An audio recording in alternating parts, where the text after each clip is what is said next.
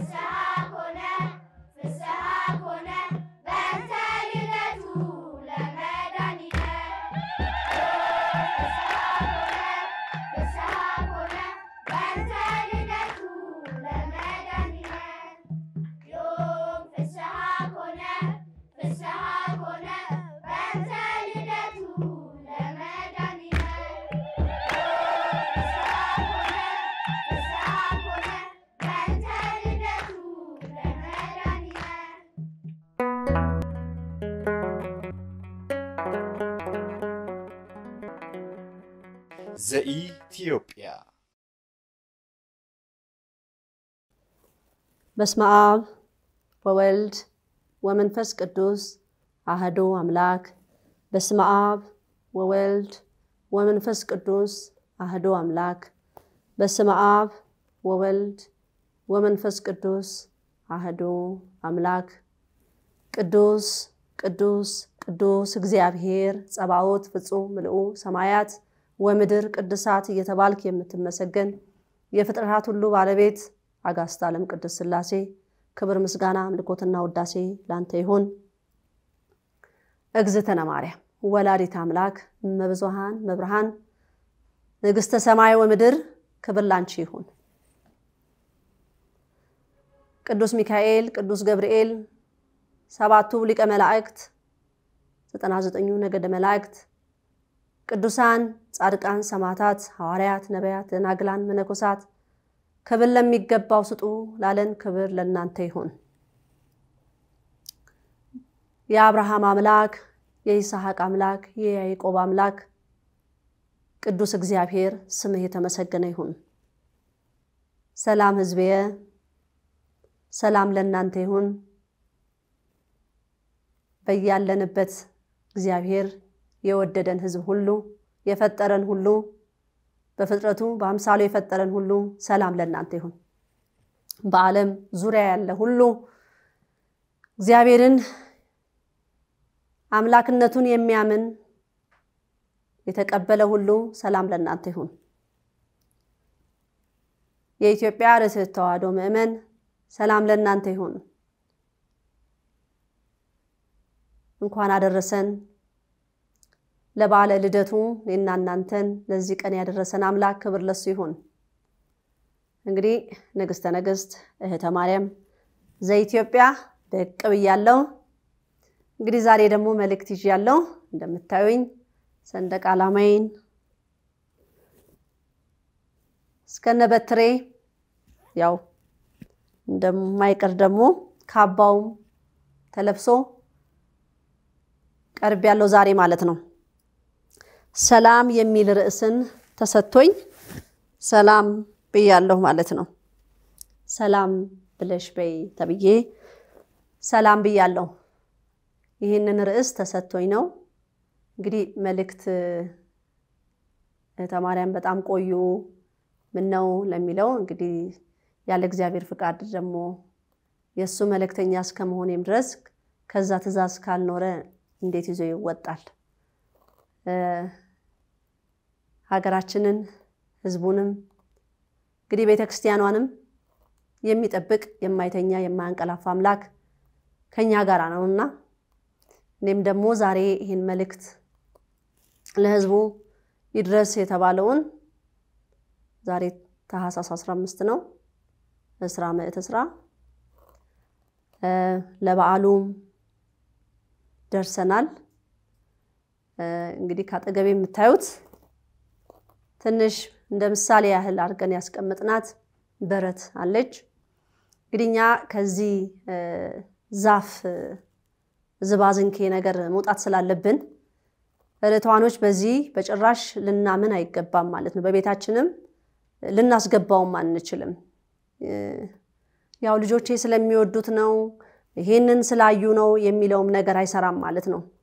በጣም ተጽዕኖ ፈጣሪዎች መሆን አለብን ወላጆች በዚህ ላይ ልጆቻችን ላይ ለዘመናት ይሄ ነገር በጭንቅላታቸው ተቀርጾ የተቀመጠ ነገር ነው። ዛፍ ቤት ውስጥ ተቀምጦ ዛፍ ላይ የተለያዩ ጌጣጌጥ ተደርገው ብዙዎቻችን ምናልባት ጥቂቶቻችን ስለ ዛፉ ትርጓሜ የምናውቀው ብዙዎቻችን ግን የምናውቀው ነገር ስለሌለ ከክርስትና ጋር ምንም የሚያገናኘው ነገር እንደሌለ ለሕዝቡ ግለጭለት ተብሎ እንግዲህ አራ አምስት ዓመት ይሆነኛል ይሄንን ነገር በተደጋጋሚ ለሕዝብ ስናገረው ማለት ነው። እኔም እንግዲህ በውጭ ዓለም በነበርኩ ሰዓት በጣም የገና ዛፍ ላይ እታይ ነበረ። በእርግጥም ህፃናት ልጆችም ስለነበሩኝ እዛው እንግሊዝ ሀገር በነበርንበት ሰዓት ያንን የገና ዛፍ ተብሎ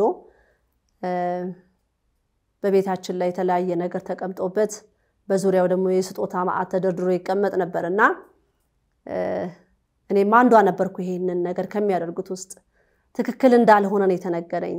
እንግዲህ ምንም አይነት ትርጓሜ እንደሌለው ለዚህ ለሚስጥራዊ ማህበረሰብ ግን ትልቅ መልእክት አለው።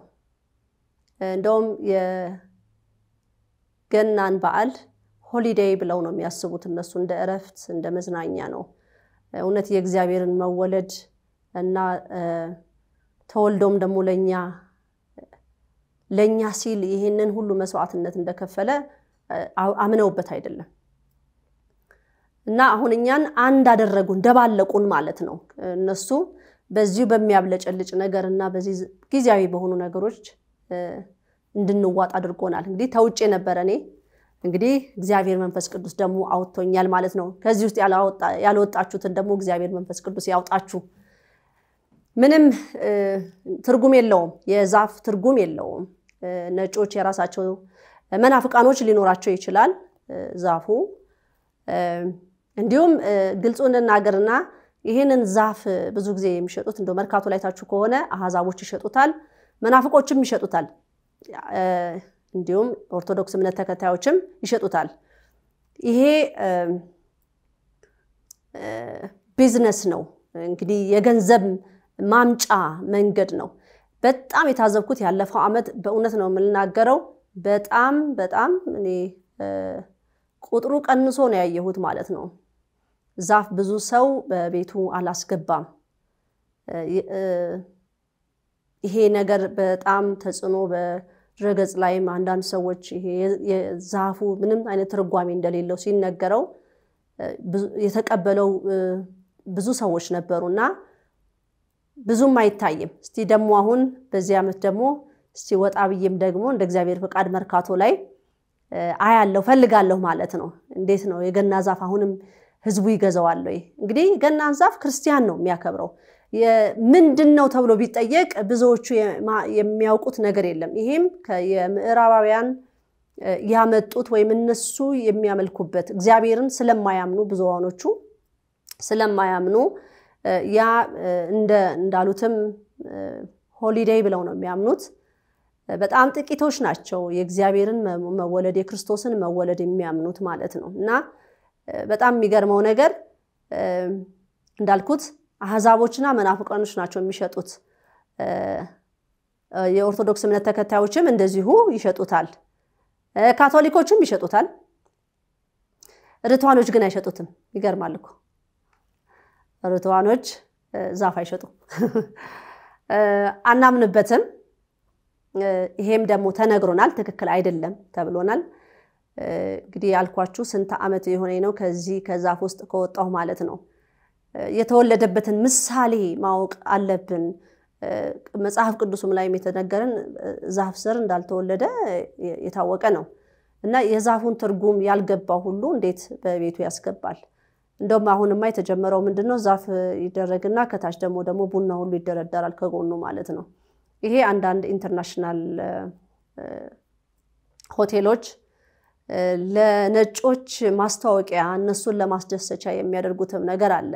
እንደውም ሁለት ነገርም አይተናል። በዚህ ጋራ በረት፣ በዚህ ጋራ ደግሞ የገናን ዛፍ ጎን ለጎን አድርገው የሰሩ ሁሉ ህንፃዎችን ሁሉ አይቻለሁ ያለፈው ዓመት ማለት ነው።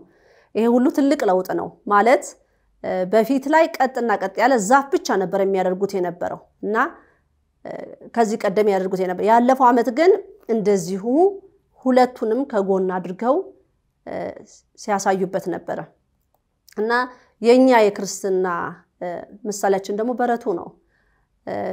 እንግዲህ አምላክ እንግዲህ የጌቶች ሁሉ ጌታ ነው፣ የነገስታት ሁሉ ንጉስ ነው። እንግዲህ ቤተ መንግስት መወለድ ይችላል።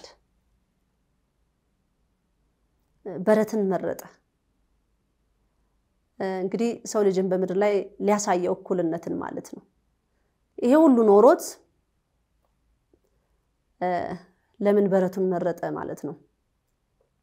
እና ያንን ታላቅ ምሳሌ ለሰው ልጅ ለክርስትና ትልቅ ምሳሌ የሚሆነውን ነገር ሸፍነው ዛፍ ያሳዩን ጀመረ ማለት ነው። ግልጹና አሁን እንኳን በግልጽ የሚታዩ ነገሮች እንኳን ዛሬ ክርስቲያኖች ብዙ እንዴት ነው እንደ መሸወድ እየሆን ያለን ማለት ነው። በተለይ ተማሩ የሚባሉበት ቤቶች እንደው ባልና ሚስት ቤት ውስጥ ዛፍ ይበዛል። ይሄ ደግሞ የሚያሳየው እንግዲህ ይሄ ምድራዊ ትምህርት ነው እንጂ የሰማይ ስጦታው የላቸውም ማለት ነው። እንግዲህ የሰማዩን ስጦታ ያድለን። ክርስቲያን በዚህ በምድራዊ ነገር አይደለም ሊገዛ የሚገባው። እንግዲህ ዓለምን ልናስተምር ካስፈለገን በትንሹ ነገር እኛ አሁን በረቱን በየቤታችን መስራት አለብን ወይ? ህዝቡ ላይ ትልቅ ተጽዕኖ የፈጠረው ዛፍ ልክ ገና በዓል ሲመጣ ዛፍ ቤት ስለሚገባ አሁን ደግሞ መቀየር አለብን። ይሄ አልነበረም መሆን ያለበት። አይ የለም ልጆቼ ለምደዋል፣ ይሄን ማየት አለባቸው። ቆንጆ አድርጋችሁ ብቻ እኒያ የምንከለክለው ወላዲት አምላክን ስሎ ማስቀመጥ ስለማይቻል ብቻ በረቱን አድርጋችሁ ከብቶቹን፣ ላሙን ወዘተ ያለውን ምሳሌውን ብቻ ማድረግ ይቻላል። ስዕሏን ሳታስገቡ ማለት ነው። ስዕሏን ሳታስገቡ ዙሪያዋን በእንደዚህ ለምንድን ነው እንደዛ የምልበት ምክንያት ስዕለ ማርያሟን በክብር መቀመጥ አለባት። እንዲሁም post card ላይ ይሄ ለአመት በየአመቱ የምንሰጣጠው post card ኡ ላይ እዛ ላይም ራሱ በረት ሊኖር ስዕለ ማርያም ሊኖር አይገባም። ምክንያቱም ያ ፖስት ካርድ እየተቀባበሉት በክብር አይቀመጥም።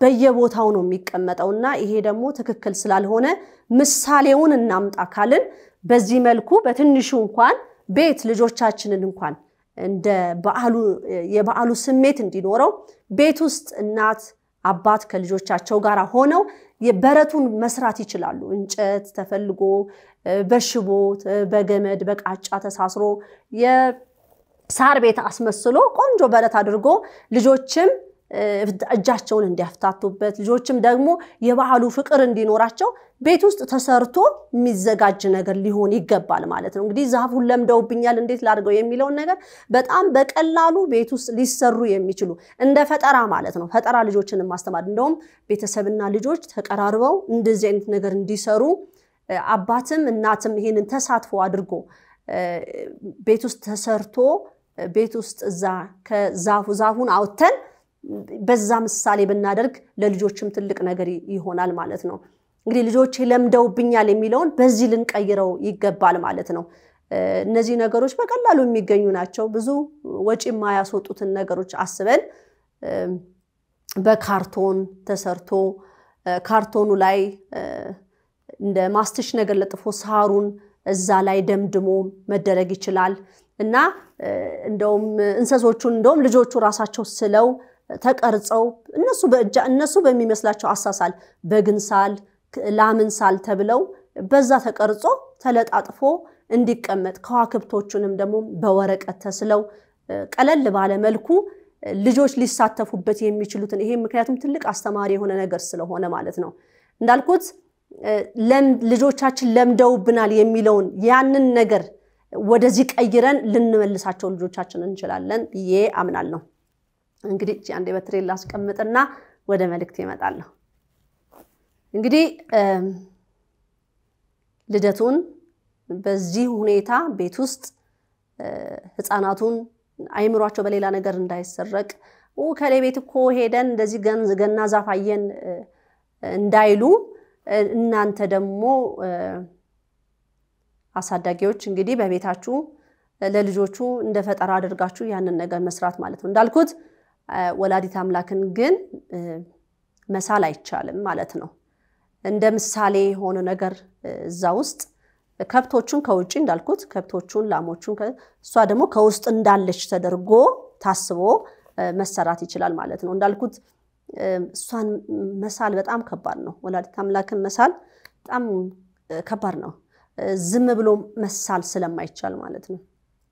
ስለዚህ ያ እንግዲህ ካለኝ ክብርና ካለኝ ለወላዲት አምላክ ፍቅር የተነሳ ነው። ይሄ የክርስትና ስርዓት ነው። ብዙ ነገር ልጆቻችን ልንለውጣቸው አይምሯቸውን ልንመልስ የምንችልባቸው ብዙ ፈጠራዎች አሉ ማለት ነው እና ገና ዛፍዋን ፎቀቅ አርጋችሁ ጣል አርጓት። እንግዲህ ቤታችሁ ውስጥ ኧረ እንደው እህተ ማርያም አንድ አምስት ዓመት አስር ዓመት ሆኖታል እኮ የኔ ዛፍማ ከተቀመጠ በዓመት አንገዛም እያልን እሷን እያሸበረቅ እንደውም ታያላችሁ። አሁን ህዝብ አለመግዛቱን ሲያውቁ ርካሽ ይሆናል ጭራሽ ማለት ነው። ጨርሶ ከሀገራችን ላይ መወገድ አለበት። እኛ መናፍቃንም አይደለንም። እንግዲህ ይሄ የማያምን ነው። ይሄንን የክርስቶስን ከወላዲት አምላክ አልተወለደም የሚለውን ነገር ነው አሁን በቃ የሚያሳዩን ያሉት ማለት ነው። ስለመወለዱ ራሱ ምንም እግዚአብሔር የለም የሚለውን አካሄድ ነው እያሳዩን ያሉት። እንግዲህ ታያችሁ ከዛፍ ልዩነቱን ማለት ነው። እሱ የተወለደው በበረት ነው፣ እነሱ የሚያሳዩን ዛፍ ነው። አይገናኝም እና ይህንን ነገር ከቤት መውጣት እንዳለበት ነው የምናገረው ማለት ነው። እንግዲህ የሚሸጠውም እንዳልኳችሁ በእምነት ውስጥ ሁሉ የሌሉት ሁሉ አህዛቦች ሁሉ አሁን መርካቶ ላይ ብንሄድ እንደው ከሁለት ሳምንት በኋላ አሁን ይጀመራል ማለት ነው። ይሄ ነገር ግን እንዳልኩት በጣም ብዙ ለውጥ አለ። ከባለፈው ዓመት ከዛሬ ሁለት ዓመት ሶስት ዓመት በፊት የነበረው የመርካቶ ነገር አሁን ቁጥሩ ቀንሷል። ጭራሹን መጥፋት አለበት ከሀገራችን ላይ። ቻይና ራሷ ትልቅ ቢዝነስ የምትሰራበት ወቅት ነው። አሁን ደግሞ በረት ከተባለ ደግሞ እርግጠኛ ነኝ በረት እየሰራች ደግሞ ስዕለ ማርያምንም እየሳለችልን ልታስቀምጥልን ይሄን ሁሉ እንደማንቀበል ማለት ነው።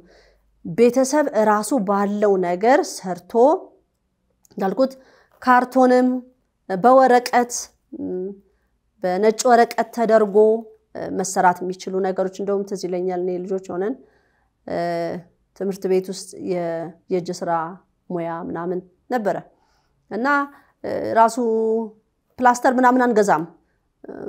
በሙቅ ተደርጎ ዱቄቱ በውሃ እንትን ብሎ እሳት ላይ እንትን ይደረግና እንደ ማጣበቅ ይላል እና ሳህን ሰርታችሁኑ እንባላለን፣ ብርጭቆ ሰርታችሁኑ እንባላለን እና በወረቀቶች ተጠቅመን ነው ብዙ ነገር የምናደርግ የነበረው እና ህፃናቶችንም እንደዚህ አይነት ነገር የራሳቸው ነገር እንዲሰሩ ማድረግ መቻል አለብን ብዬ አምናለው።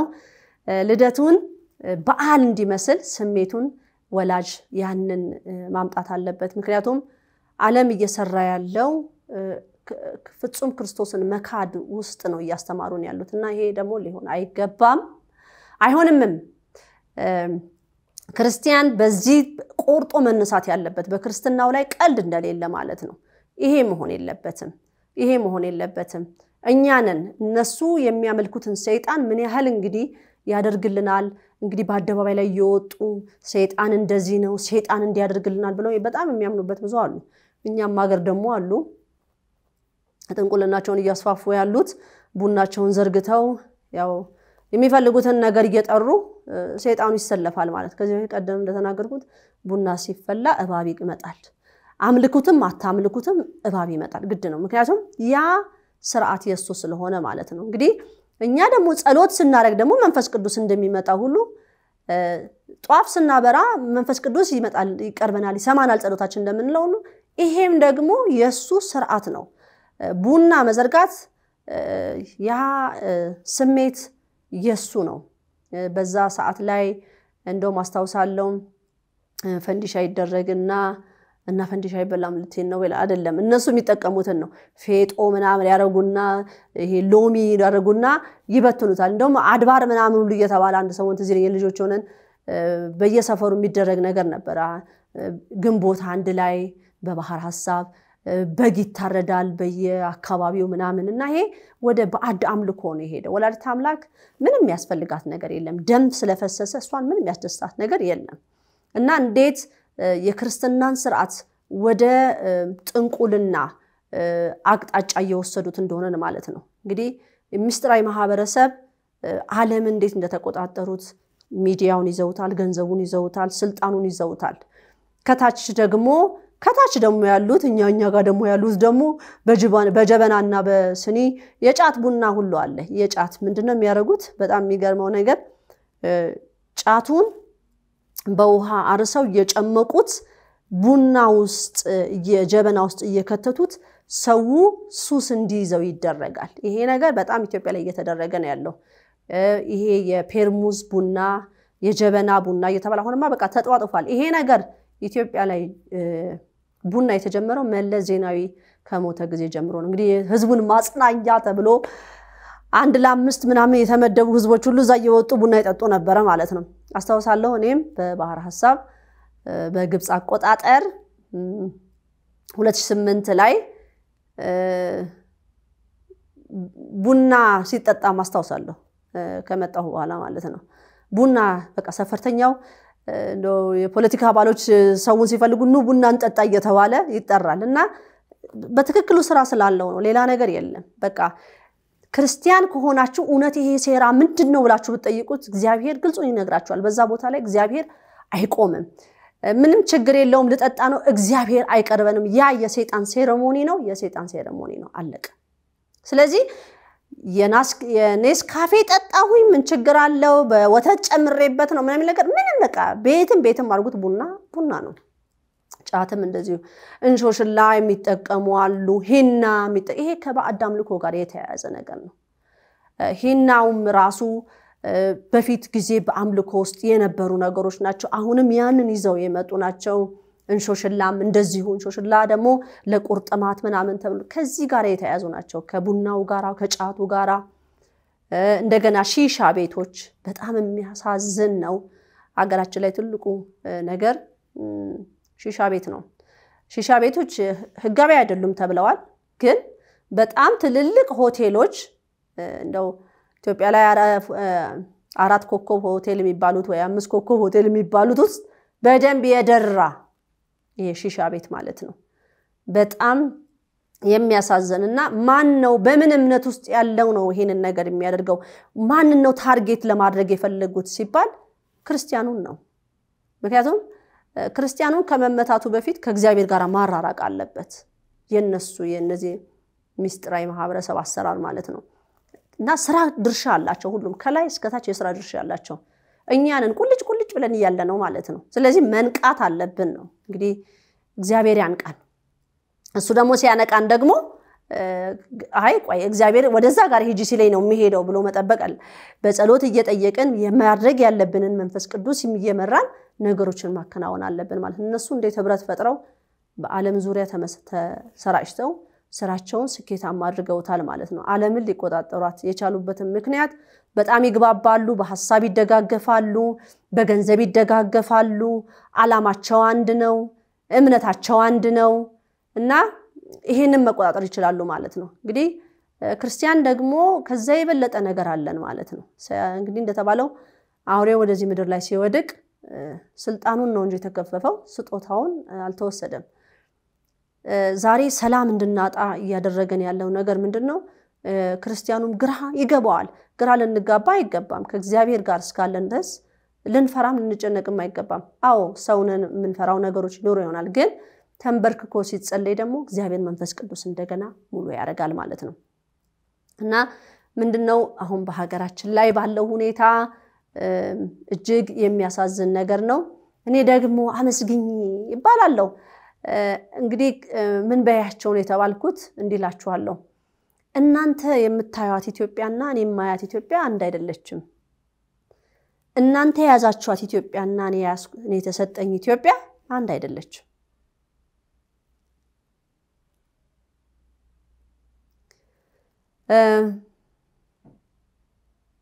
እንግዲህ እኔ ቅድስት ሀገር ኢትዮጵያን እዚህ ላይ እንደምታዩት ስረከብ በእንደዚህ መልኩ ነው የተረከብኳት። ዛሬ እቺ እንግዲህ ላይ ላይ የምታዩት ግንባሬ ላይ ወርቅ ናት። ይህም ስጦታ ተበርክቶልኝ ነው። በዚህ አጋጣሚ ደግሞ እግዚአብሔር ያክብርልኝ ላለ ይሄን ያቀረቡልኝ ላው ለኢትዮጵያ ትልቅ ፍቅር እንዳለኝ ስለሚያውቁ ስለ ሀገሬ እንደው በዚህ ዘመን እንደው በዚህ ዘመን በዚህ ዘመን እንደው ሀገሩን ማን ነው የሚወደው ቢባል እኔ ነኝ። እኔ ሀገሬን እወዳለሁ። እኔ ነኝ ሀገሬን የምወደው። እንዴት የሚለውን ነገር ደግሞ እንመጣበታለን ማለት ነው። የሀገሬ ነገር ያሳስበኛል። የህዝቡም ነገር ያስጨንቀኛል። ከተሰጠኝ ነገር ጋራ እኔ እንዳልኳችሁ ምንድን ነው እህተ ማርያም ባንቺ ውስጥ ያለችው ኢትዮጵያ ልዩ ናት ነው የሚባለው። እውነት ነው። ያ ከሰማይ የተሰጠኝ ስለሆነ ነው። ከምድሩ ጋር ለማገናኘት በጣም አንገናኝም አንገናኝም። ይሄ ደግሞ ምንድነው የውስጥ ፍቅርን ያስፈልጋል ማለት ነው። ኢትዮጵያን ወዳታለሁ የሚሉ በጣም ብዙ አሉ፣ ብዙም ይላሉ። ፖለቲከኛውም ኢትዮጵያን ወዳታለሁ ይላል። ኳስ ተጫዋቹም ኢትዮጵያን ወዳታለሁ ይላል። ዘፋኙም ኢትዮጵያን ወዳታለሁ ይላል። የቤተ ክርስቲያን አባት ነኝ የሚለው ኢትዮጵያን ወዳታለሁ ይላል። ፓስተሩም ይላል፣ ሼኩም ይላል። ኧረ ስንቱ ስንቱ ቦታ እንግባ፣ ሁሉም እንወዳታለን ይላል። የእኔ መውደድ ግን ይለያል ብያለሁ። ያው እንግዲህ አለባበሴን ታዩታላችሁ። ዛሬ አረንጓዴ ነኝ። በአረንጓዴ ቢጫ፣ ቀይ በኢትዮጵያ ሰንደቅ ዓላማ ተምነሽንሼዋለሁ ዛሬ ማለት ነው። እንግዲህ ይሄ ትዕዛዝ ነው። ዛሬ ይሄንን እንግዲህ እንድለብስ ተፈቅዶልኝ ነው።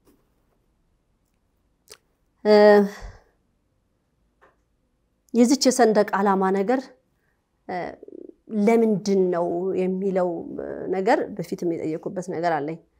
በቅርብ ያደረግኩትን ነገር ልንገራችሁና ከአንድ ከአራት ወር በፊት ምን አደረግኩኝ? አሁን ከመታሰሬ በፊት ማለት ነው። ሰንደቅ ዓላማውን ስዕለ ማርያም እግሯ ስር ነው ያስቀምጨው የነበረው ማለት ነው። እግሯ ስር አስቀምጬ ነበር። ከዛ ከሆነ ጊዜ በኋላ ጸሎቴን ከጨረስኩ በኋላ አንስቻት ነበር። አሁን ደግሞ ከሰሞኑን ደግሞ መልሼ ሰንደቅ ዓላማውን እግሯ ስር አስቀምጨዋለሁ። ወላዲት አምላክ ነው ያልኳት። ማለት በአንዳንድ ይሄ በዓለማቱ በዚህ በምዕራባውያን ኢትዮጵያ ለምንድን ነው ትኩረት ያደረጓት ሲባል ምን ኢትዮጵያን ብቻ ነው እንዴ ምናምን ብለው እዚህ ውስጥ ያለው ማለት ነው ኢትዮጵያን ሲያጥላላት ያመኛል ማለት ነው። እንዲህ ሲገፋት ማለት ነው። ብዙ የማያቸው ነገሮች አሉ። እናንተ በአደባባይ ላይ ወጥተው ስለ ኢትዮጵያ ሲዘፍኑ ፖቾቹ ሲያወሩ ፖለቲካው ምኑ ይህ ደግሞ እውነት ነውን? ይሄ ነገር ጥያቄ አለኝ። ለዚህም ነው ሰንደቅ ዓላማዋን እግሯ ስር ያስቀመጥኩት እና አሁን እንዳልኩት ደግሜ ሰንደቅ ዓላማውን እዛው ስዕለ ማርያም ስር መልሼዋለሁ ማለት ነው። ይቺ ሰንደቅ ዓላማ በጣም ብዙ ሕዝብ ታናጋለች ያለችው። እዛ ስር የሚያስቀመጥኩበትን ምክንያት እንዳልኳችሁ አሁን ይሄ በዚህ ኢትዮጵያ ላይ የተለያየ ባንዲራ አለ። የክልሉ የተሰጠ ባንዲራ አለ እና ይሄ እንግዲህ ሴራ ነው። አረንጓዴ፣ ቢጫ፣ ቀይ የተሰጠንን ለማጥፋት እነዚህን በየክልሉ እንኩ ተባለ። እና ይሄ ሁሉ ዘመን ሰው ይሄንን የክልል ባንዲራ ብዙም አልተጓዘበትም፣ ብዙም አልሄደበትም። አሁን ይሄ የኦሮሚያ ባንዲራ ላይ ስንመጣ ማለት ነው የማቀርበው ጥያቄ ማለት ነው እሱ የፈቀደው እንዲሆን ነው የኔ ምኞት ማለት ነው። ህዝብ ይጠይቃል፣ ደግሞ እግዚአብሔር ደግሞ እሱ ይወስናል ማለት ነው። አባት ወይ ይሄ የኦሮሚያ ሰንደቅ ዓላማ አለ ከጥንት ጀምሮ ጀምሮ ደግሞ የተቀበልነው ይሄ ሰንደቅ ዓላማ አለ። የትኛውን ነው አንተ ለኛ የሰጠህን የሚለው ጥያቄ ነው። ወላዲተ አምላክ እግር ስርም ያደረግኩት መልስ እንድትመልስልን ነው። ታሪክ ተጨመላልቆ የመጣ ነገር አለ እዛ ጋራ ተማርን ብለው የሚሉትማ በስመ አብ በቃ እኔማ ሰርተክፌት ሰጥቻቸዋለሁ። እኔ ሰርተክፌት ሰጥቻቸዋለሁ። ዜሮ መሆናቸውን ሰርተክፌት ሰጥቻቸዋለሁ። እኔ ንግስተ ነገስት ተማርያም ዘኢትዮጵያ ዛሬ ተማርን ብለው ስለ ኢትዮጵያ የሚናገሩትን የጭንቅላት ድሃ የሚል ሰርተክፌት ሰጥቻቸዋለሁ። ይህንን አቀረብኩኝ። እንዳልኳቸው የኦሮሚያ ባንዲራቸውን አልያዝኩኝም። የያዝኩት ግን ኢትዮጵያን ያንን ግን ጥያቄ የሰማይ አምላክ ፊት አቅርቤ የተደረገልኝን ነገር ነው የምነግራችሁ። እንዲህ የተገፋው። የኦሮሚያን ባንዲራ ወደኋላ አርኪ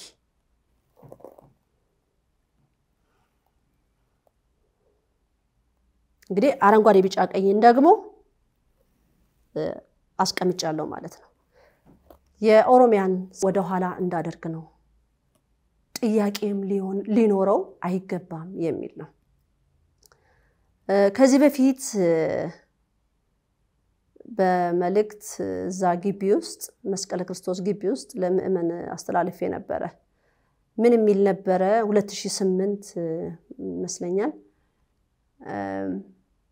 በዛ ሰዓት ቀረጻ የለም፣ ለህዝቡ ነው።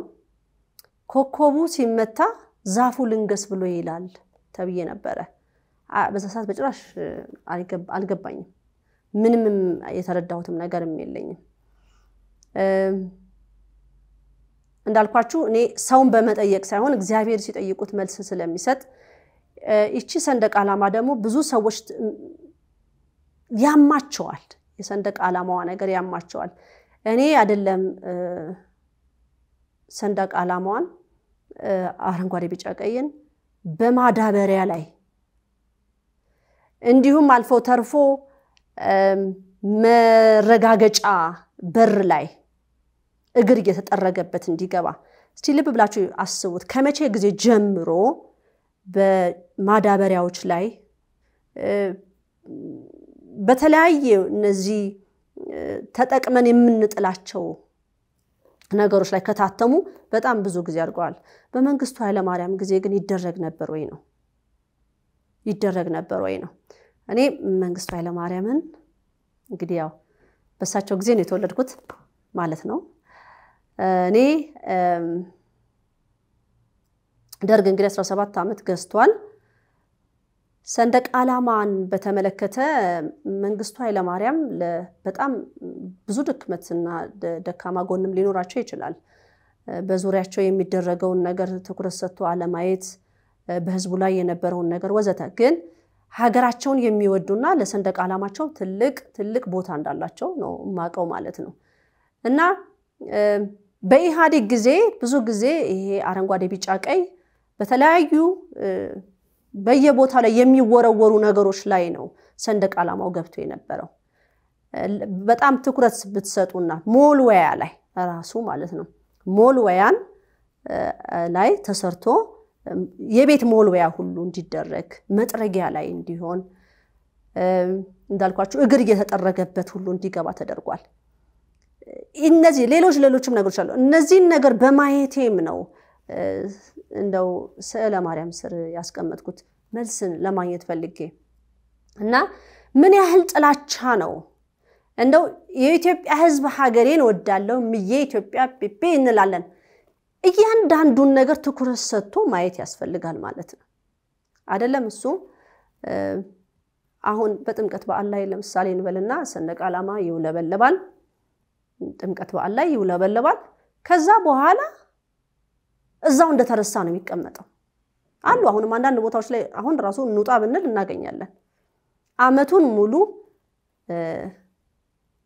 አቧራ ሲቦንበት፣ ዝናብ ሲፈራረቅበት፣ ፀሐይ ሲፈራረቅበት ይታያል። በድሮ ጊዜ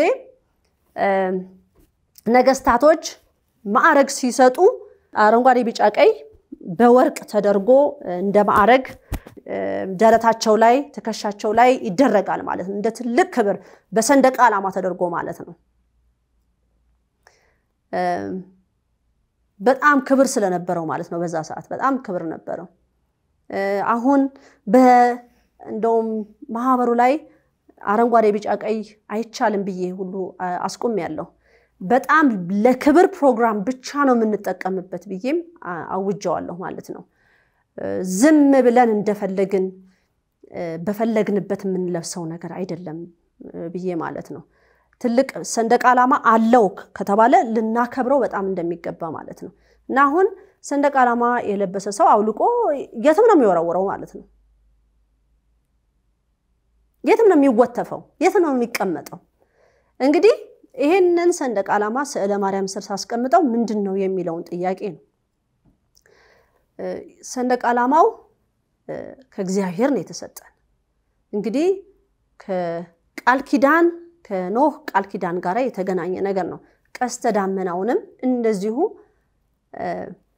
ምልክቶቹ እዛ ላይ ካሉት ሰባት ናቸው። ከዛ ሰባቱ ማለት ሶስቱ ከሚስጥር ጋር ተደርጎ ነው ላይ የተሰጠን የተባለው። ይሄንን ነገር የተነገረንም ነገር አለ። ይሄ ክብር እንዳለው ተነግሮናል ወዘተ። ግን ራሱ እግዚአብሔር መንፈስ ቅዱስ ደግሞ እንዲገልጽልኝ ነው። እንግዲህ ሀገሬን እወዳለሁ የሚሉ ብዙ አይነት ነገር ይሰማል ይባላል። የኢትዮጵያ ሰንደቅ ዓላማ እውነት እግዚአብሔር ፈቅደህልን ነው ወይ? ይህንን ቀለማት ፍቃድ አለን ወይ? ካንተብስ ነው ወይ የተሰጠን የሚለውን ነገር መልስ ጥያቄ ከዛም መልስም የተሰጠኝ ነው። በትክክል ከእግዚአብሔር የተሰጠን ነገር ነው።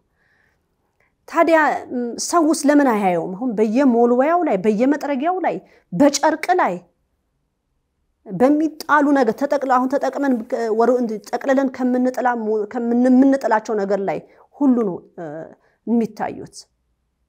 እስክሪብቶ ራሱ ላይ እስክሪብቶ ካለቀ በኋላ ሁሉ የመጣል ነገር አላቸው። ይሄ ሁሉ እንዴት ማለት አሁን ሰንደቅ ዓላማችንን እናከብራለን ብለን ካልን እስከ ዛሬ ድረስስ እንደው የነበረውን ሁኔታ ሰንደቅ ዓላማችንን በምናያቸው በተለያዩ ቦታዎች ላይ ምን ያህል አክብሮት ሰጥተነዋል?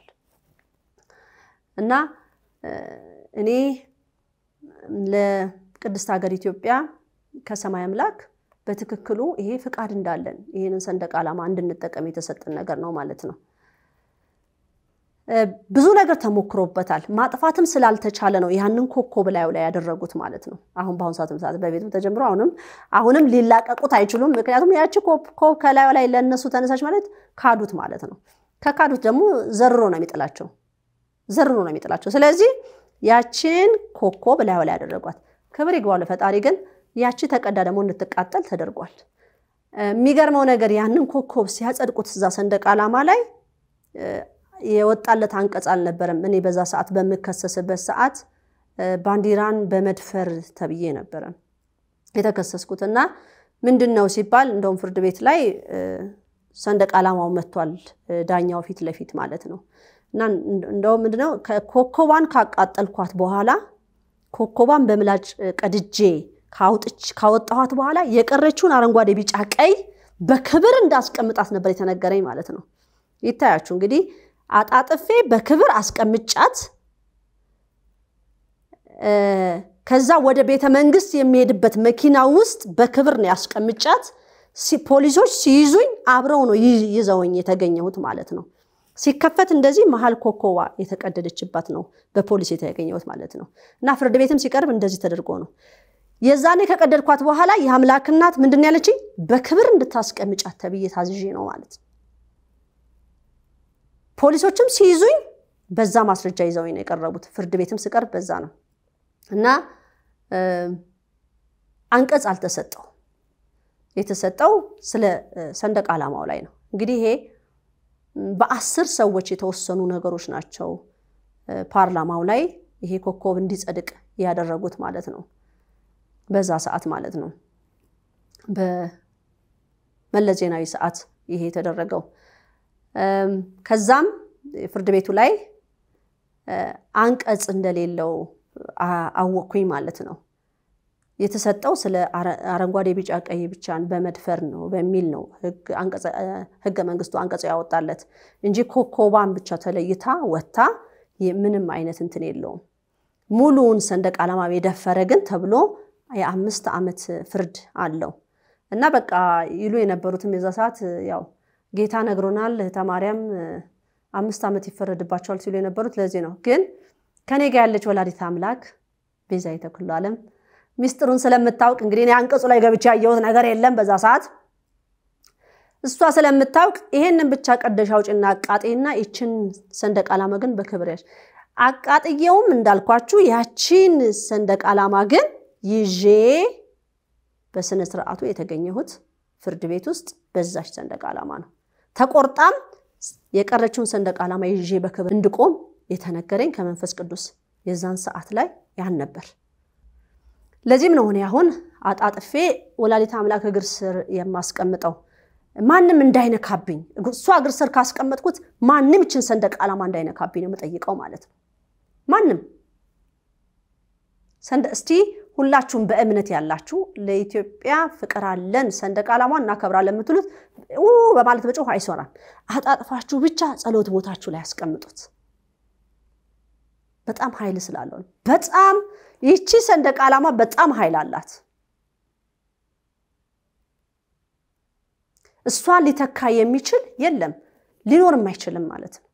ግን ይታገላሉ ይታገላሉ። ለምን የተሰጠን አንዱ ቃል ኪዳን ይሄ ስለሆነ። እንደውም እኮ የወላዲት አምላክ መቀነት የሚባልልናል አይደለም እንዲ እኔ አምንበታለሁ በዛ። ይሄ ደግሞ የሚያማቸዋል የወላዲት አምላክ መቀነት የሚለው ነገር በቤተ ክርስቲያን ፊት ለፊት ላይ ይሄ ሰንደቅ ዓላማ ተቀብቶ ሲያዩ በጣም የሚያማቸዋሉ። እና ኮከቡንም ሲያጸድቁት የአውሬውንም ምስል እዛ ላይ ሲያደርጉት እንደው ረስተውት ልበል ዘንግተውት፣ ፓርላማ ላይ አስር ሰዎች ናቸው እንዳልኩት የዛ ሰዓት ላይ የነበሩት ብሉ ባለስልጣን ድምፅ አልነበረውም። ድምፅም እንዲኖረውም አልተፈለገም። በራሳቸው ኃይል ነው እዛች ላይ ያስቀመጡት እና ያንን ሲያደርጉ ሰንደቅ ዓላማውን ማንሳት ስለማይችሉ ያንን ነገር ተጠቀሙ ማለት ነው። ያንንም አልቻሉም። ስለዚህ በአቡሻህር 2008 ላይ ኮከቡን ስታቃጢ እሱ ደግሞ ሲመታ ዛፉ ልንገስ ብሎ ይላል ብላኝ ነበር የተናገረችኝ። ይህን ለህዝብ በጣም ብዙ ህዝብ ባለበት ተናግሬ የማውቃለሁኝ። እና አሁን ምንድን ነው የዚህ የሰንደቅ ዓላማ ነገር እንዴት ነው እንዳልኩት በየክልሉ ባንዲራ ተሰጥቷቸዋል። አሁን በትምህርት ቤት ላይ እየተደረገ ያለው ነገር መሆን አለበት ወይ? የኢትዮጵያ ሰንደቅ ዓላማ እየተውለበለበ የኦሮሚያም አብሮ ይግባ ከተባለ የሌላውስ ክልል የሌላውስ ክልል ለምን አብሮ አይገባም? ለምን የኦሮሚያ ብቻ ተፈለገ ነው ጥያቄው። ሌላው ህዝብ አይደለም? ሌላ ኢትዮጵያዊ አይደለም? ሌላው ክልል አይደለም ማለት ነው? ሁሉንም የሚያስማማ አንድ ሰንደቅ ዓላማ ናት። ይቺ ነች። ልትሆንም የሚገባውም ይቺ ነች። ያ የክልል ነው ተብሏል። የክልል ነው። ስለዚህ እንዳልኳችሁ እኔ ይህችን ሰንደቅ ይዤ ነው አምላኬ ፊት የጠየቅኩት። ከዛም የወላዲት አምላክ እግር ስር አስቀመጥኩ። ያኛውን ደግሞ ወደዛ አርጊ የተባልኩት ወደዛ ግፊ፣ ገፍቻለሁ ማለት ነው። ግፋ ገፋ አርጌዋለሁ ማለት ነው። አይሆንም። ጥንት የተሰጠንን ከሰማይ አምላክ የተሰጠን ነው። ያም እንዲጸናልን ደግሞ የኢትዮጵያ ሕዝብ ያም እንዲጸናልን ጸሎት ያስፈልገናል። ይህ ሁሉ መፈረካከስ፣ ይህ ሁሉ መበታተን፣ አንዳንዱ ምን ይላል? ጨርቅ እንደውም መለስ ዜናዊም ብሎታል ይመስለኛል። ጨርቅ ለጨርቅ ተብሏል። በጣም ሊያጥላሉት፣ በጣም ሊያንቋሽሹት እንግዲህ ኢትዮጵያዊ ናቸው ተምረዋል የሚባሉ ናቸው። በዚህ ማር ይናገሩና በኋላ ደግሞ እርገጠው ጨፍልቀው አቃጥለው ይመጣል ማለት ነው። እንግዲህ ለሰንደቅ ዓላማ ትልቅ ቦታ አለኝ። ያለኝም ምክንያት በአቡሻህር በባህር ሀሳብ በግብፅ አቆጣጠር 2008 ላይ የተሰጠኝን አገልግሎት ነው እና ዳኛው ፊት ሲቀርብ ያ ሰንደቅ ዓላማ እንደዚህን ይሄንን ነው እርሶ ያቃጠሉት? ክቡር ፍርድ አዎ፣ ይቺ ክቧ የምትታየው ኮከቧን በምላጩ በደንብ አድርጌ ቀድጄ አስረድቻለሁ። ፍርድ ቤት ውስጥ በደንብ አድርጌ ነው ያስረዳሁት። በምላጭ በመሀል ቀድጄ ነው ያወጣሁት። ሰንደቅ ዓላማዋ ግን እንዳለች ነች ብዬ ፍርድ ቤት ውስጥ በትክክሉ ተናግሬያለሁ። ከዛ ደግሞ ምንድን ነው ያሉኝ? ሰንደቅ ዓላማ ግቢዋ ውስጥ ዘርግታ ነበረ ለሚለው ነገር ያው አስረድቻለሁ። አረንጓዴ፣ ቢጫ፣ ቀይ ለብቻ ልክ እንደ ጥምቀት በዓል ነው ቤተ ውስጥ ግቢ ውስጥ አድርገውት የነበረው ሲሉኝ ዳኛው አዎ ክቡር ፍርድ ቤት እንደዛ ነበር ያደረግኩት፣ በዛ መልኩ ነው የተደረገው ብዬ ተናገርኩኝ። እንደገና ሌላ ሰንደቅ ዓላማ የነበረኝ እኔ ጋር ያለችው ሙሉ የኢትዮጵያ ካርታ በመስቀል ያለችው ደግሞ በሶስት ወንበር ላይ አስቀምጫት ነበረ። አድርጌ ተብዬ ማለት ነው። አድርጌ ተብዬ በሶስት ነጫጭ ወንበር ላይ ሰንደቅ ዓላማውን እንዳስቀምጥ በመንፈስ ቅዱስ ታዝዤ ያደረግኩት እና ለዚህ ነው እኔ ግራ ይገባኛል ያለው ነገር አንዳንዴ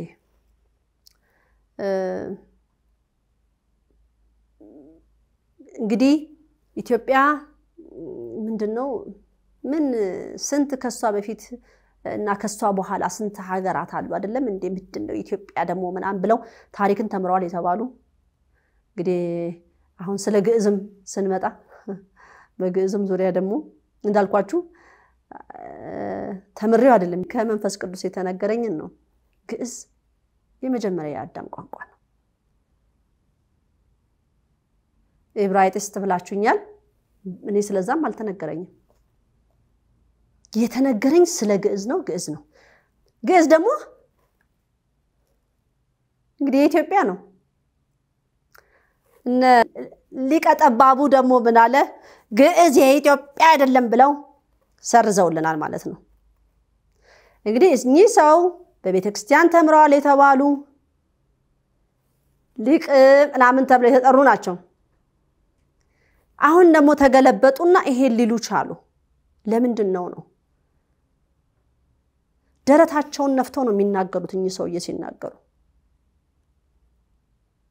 እንግዲህ ተማሪያም አንዴ ነክሳ ከያዘች ደግሞ አትለቅም አሉ። እንግዲህ ነክሳ ከያዘች ተማሪያም አትለቅም አለቅም። ለምንድን ነው? በጣም ትኩረት አደርግባችኋለሁ ማለት ነው። እንደው ለአፉ ነው ያለው ወይስ ከልቡ ነው ይሄ ሰው? እንደው ጥላቻው ነው ጥላቻ ነው ወይስ እንደው በሆነ ነገር ተበሳጭቶ ወይ ለመናገር ፈልጎ ነው የሚለውንም ነገር ሁሉ እያመዛዘንኩ ማለት ነው። እንግዲህ ሊቀ ጠባብ ብየዋለሁ እኔ ማለት ነው። እሱም አይከፋውም ይሄም ብለው እርግጠኛ ነኝ አይከፋቸውም እሳቸው ካቶሊቅ መባሉንም ስለማይፈልጉት። ስለዚህ እኔ ደግሞ ሊቅ ጠባብ ብየዋለሁ፣ ቀይሬዋለሁ ወደዚህ። ስለዚህ ይሄ ያግባባናል ብዬ አስባለሁ። እሳቸውን ብቻ አይደሉም ሌሎችም እንደዚሁ በጣም ታሪክን ተማሩ የተባሉ በጣም አጣመው ነው የሚማሩት የነበሩት እና በቃ ከሌኮ ተምሯል ምናምን። እኔ ዛሬ በጣም ትልቅ ቦታ ተሰጥቷቸው ያሉ ሰዎች በእግዚአብሔር ቦታ ደግሞ ሲታዩ የሉም። እውነት ነው የምለው የሉም። በጣም ብዙ ሕዝብ እያጨበጨበላቸው ያለውን ነው የምናገረው ማለት ነው። እንግዲህ ልብና ኩላሊትን የሚመረምር እሱ ስለሆነ ማለት ነው። አባቴ ሆይ እውነት ኢትዮጵያን የሚወድ መስፈን አለበት ወይ? የለበት። ኢትዮጵያን የሚወድ ከሆነ ሊዘምርላት ነው የሚገባው።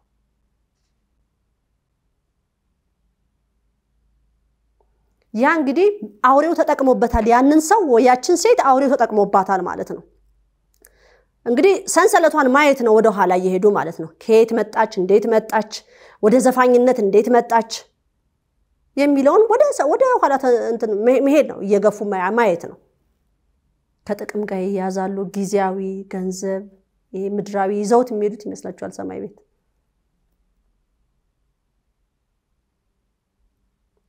ምንም ታሪክ ታሪክ አልባዎች ናቸው። የላቸውም፣ ምንም ፍቅር የላቸውም። ኢትዮጵያን እንግዲህ ያው ሰው ደግሞ ሲዘፈንለት አዎ ኢትዮጵያ ይሄ ከእግዚአብሔር ዘንድ እንድንጣላ ያደርገናል። እነሱ እየዘፈኑ ኢትዮጵያን እንድንወዳት ሊያደርጉን አይችሉም። እነሱ ዘፍነው ኢትዮጵያን ወደናት ከሆነ ተሳስተናል ማለት ነው። እነሱ ገና መጤ ናቸው። ትናንት ነው የመጡት። ወደ ጥንቶቹ ስንሄድ ኢትዮጵያን የኢትዮጵያ ሕዝብ እንዲወዳት የሚያደርጉት ከእግዚአብሔር ጋር ነው። እነሱ ደግሞ ኢትዮጵያን እንድንወዳት የሚያደርጉን ከዘፈን ጋር ነው፣ ከአውሬው ጋር ማለት ነው። እንግዲህ እኔና እናንተ የምናያት ኢትዮጵያ ማለት እንግዲህ አንዱ ይሄን ይገልጸዋል ይመስለኛል። እኔ በቅዱሳኖቹ አይን ነው ማያት፣ እናንተ ደግሞ በዘፋኞቹ በፖለቲከኞቹ አይን ነው የምታዩት ኢትዮጵያ።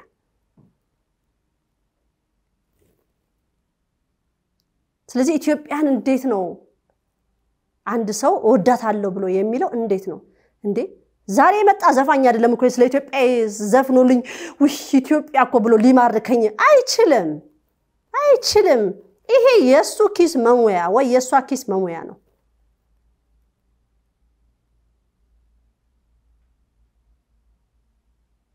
ኢትዮጵያን የሚወዳት ይጸልይላታል፣ ይዘምርላታል።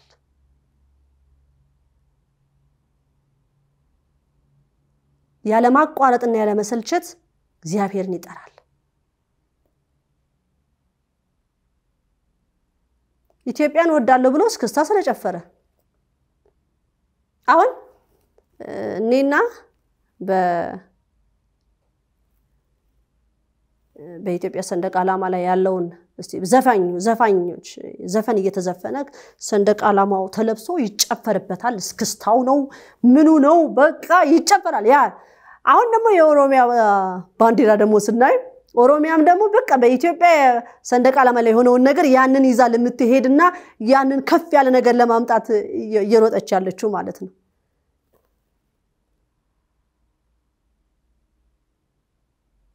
ይሄ መሆን ይችላል ወይ ነው መለየት አለብን። በእርግጥ አውሬው የሰጠንን መንገድ ይዘን ስላለን አሁን የእግዚአብሔርን ለማየት በጣም ይከብደናል። በጣም የተራራቀ ነው እንዳልኳችሁ። እናንተ ጋር ያለች ኢትዮጵያና እኔ ጋር ያለች ኢትዮጵያ አትገናኝም።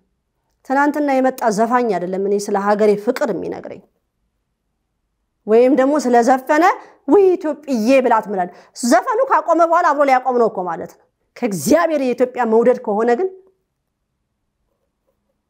ስትጨፍኑ፣ ስትገቡም፣ ስትወጡም፣ ስትበሉም፣ ስተኙም ህልማችሁ ሁሉ ስለ ቅድስት ሀገር ኢትዮጵያ ይሆናል።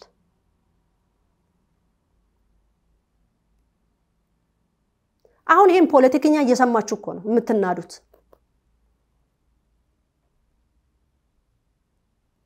ይህንን ዘፋኝ እየሰማችሁ እኮ ነው የምትናዱት።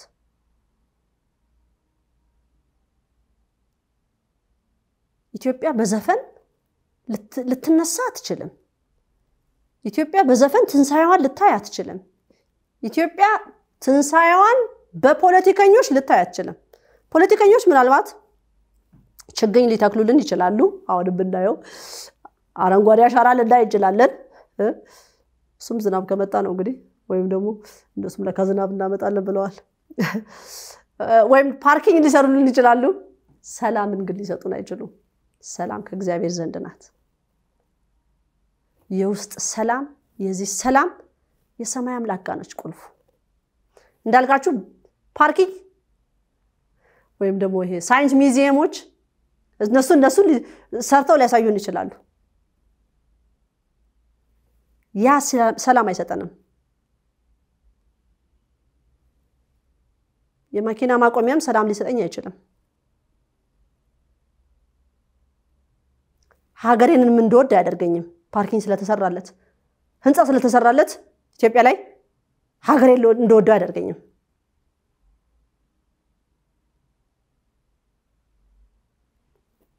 አይገናኝም።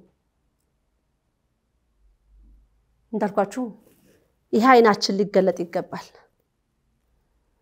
ከዚህ ቀደም እንደተናገርኩት አይናማው አቶ እሸቱ እንዳሉት እንደው አይኖት ቢገለጥ ምን ማየት ይፈልጋሉ ሲባሉ ስዕለ ማርያም ሲሉ እንዳልኳችሁ ባለፈው እድ ብያለሁ ማለት ነው።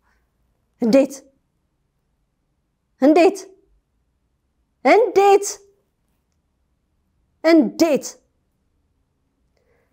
ይሄንን በረት ማሳየት ትችላለች? እኔ አሁን ማያትን ኢትዮጵያ ለተጨፈነ አይን ማሳየት ትችላለች።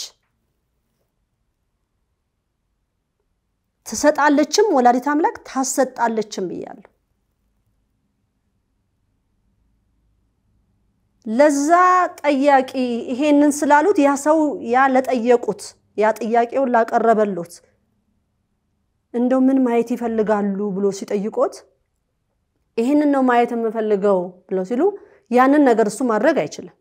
ዝም ብሎ ከእርሶ ሀሳብ ነው የሚሰበስበው ማለት ነው። ምን ይናፍቀው ይሆን? ኧረ እንደውም እንትን አለማለቶት ገርሞኛል። ሌላ ሌላ ነገር እንደው አለማለቶት እንደው ደስ ብሎኛል። እኔ? ታይታኒክን ምናምን ማየት ነው የምፈልገው። እሱም አንድ ነገር ነው።? ወላዲት አምላክን እኮ ነው ያሉት እርሶ። ስለ ወላዲት አምላክ እኮ ወጥተው እኮ ያነበንቡታል። መጽሐፍ ቅዱስን ያውቃሉ ተበው ተብለው መጋቢ ሐዲስ እሸቱ ተብለዋል እንዴት እንደዚህ አይነት መልእክት ለህዝብ ህዝብ አታይም እኮ ያለኸው ማለት ነው፣ አትሰማም ያለኸው። ለዚህ ነው እኔ አንድ ሰው ወጥቶ ቤተክርስቲያን መምህር ነው፣ ይሄማ ጎበዝ ነው፣ ይሄማ ባለሀብት ነው፣ ይሄማ እንዲህ ነው፣ ይሄማ ዘፋኝ ነው ሲባል እስቲ ብዬ እገባለሁ። ከዛ አየውና ውድቅ እላለሁ። እናቴ ሀገሬ፣ አይ ቤተ ክርስቲያን እንግዲህ በጣም አሉ ብለን የምንላቸውን ነው እንግዲህ በትንሹ በቀላሉ እንግዲህ እሳቸው ስዕለ ማርያምን ነው ማየት የምፈልገው አሉ። ጉድ እኮ ነው በጭራሽ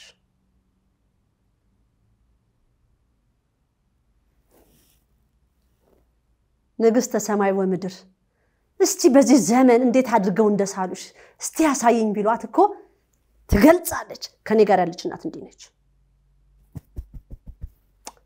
ለዚህ ነው ንግሥተ ነገሥት ማርያም ዘኢትዮጵያን የሚል ስያሜ የተሰጠኝ። የሚገርመው ነገር ንግሥተ ነገሥት አይደለም የሚያስደንቀኝ እኔ እህተ ማርያም የሚለው ስም እንዴት ያረካኛል መሰላችሁ? በካህን አልተሰጠኝም ይሄ ስም ንግሥተ ሰማይ ወምድር ናት። እህተ ማርያም ነው የምትባየው ተብዬ እንግዲህ እኔ የሰው ልጅ የተሰጠው የሰማይ ከሰማይ እኛ የተሰጠን ስጦታ አለ አይደል? ያን ተወስዶብናል። አሁን እኛ እንዴ ከከሌ እኮ ማየት አይችልም ምናምን ሲል እኛ ራሳችን መቼ ማየት እንችላለን? እኛ እኔ እንኳን ልተውና ተማሪያን ፈገግ እናደርጋትና ማየት የምንችልበት እኛ እኮ የምናየው እንዳልኳችሁ ፓርኪንግ እናያለን፣ መኪና ማቆሚያ ቦታዎችን እናያለን፣ ህንፃዎችን እናያለን። እንደገና ደግሞ ምንድን ነው ይሄ በስጋ የሚታዩ ነገሮች እናያለን። ትክክለኛ እይታችን ግን ተመቷል። አሁን የአውሬው ልጆች እንኳን ጥሰውን ሄደዋል። የአውሬው ልጆች ከእሱ ጋር እየተመካከሩ ምን እናድርግ እያሉ እየተመካከሩ በጣም ብዙ ሄደዋል። እኛ ግን በክርስቶስ ክርስቲያን የሆነን የተባለን ግን እይታችን እዚች ጋር ብቻ ናት፣ እዛ ጋር። እኔ ደግሞ ተከፍቷል፣ እዛ ድረስ ሄዷል። ክብር ይግባው። ይሄን ላደረገ አምላክ የእሱ ነው። ሰጥቶኛልም መውሰድም የሚችለው እሱ ነው። የሰው ልጆች ሊወስዱብኝም አይችሉም ይሄንን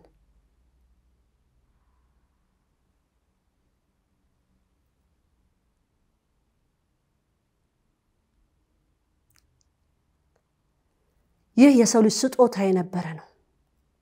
እንዳልኩት እኛ አሁን የምናየው በጣም ውስን ነገሮችን ነው። እዚህ አይናችን ስር ያሉትን ነገሮች ነው የምናየው። እንደውም አይናማዎች በጣም ትልቅ ስጦታ አላቸው። ውስጥ ድረስ የማየት ስጦታ አላቸው። ይኑራቸውም አይኑራቸውም የማውቀው እንዲህ ወይ ሲያወሩ ወይ በአጠገቤ ሆነው ሲናገሩ ወይም በዚህ በቪዲዮ መጥተው ሲያዩ ጭንቅላታቸውን ሁሉ እንዳይ ይፈቀድልኛል ማለት ነው።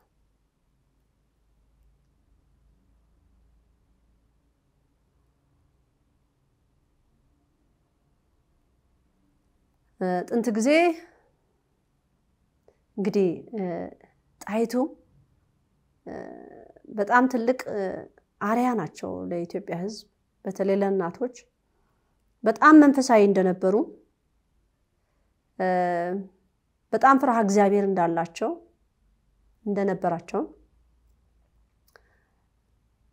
አንድ ነገር ከመሆኑ በፊት በጸሎት ጠይቀው ነው የሚያደርጉት ነገሮችን እንጂ ዝም ብለው አያደርጉም። ያ ምንድን ነው? የኢትዮጵያዊነት ፍቅር ነው። በአሁን ሰዓት ያለው ኢትዮጵያን ወዳለው የሚለው ይዘፍናል፣ ፖለቲካ ያወራል። እኔማ ይሄ በቴሌ እኔማ ከቴሌቪዥን ከተውኩኝ እግዚአብሔር የተመሰገነ ይሁን ቆይቻለሁኝ። ምንም ነገር አይገኝበትም፣ ፍሬ የለውም፣ ወሬ ብቻ ነው። እንዲህም ተብያለሁ ከእናቴ ከወላዲተ አምላክ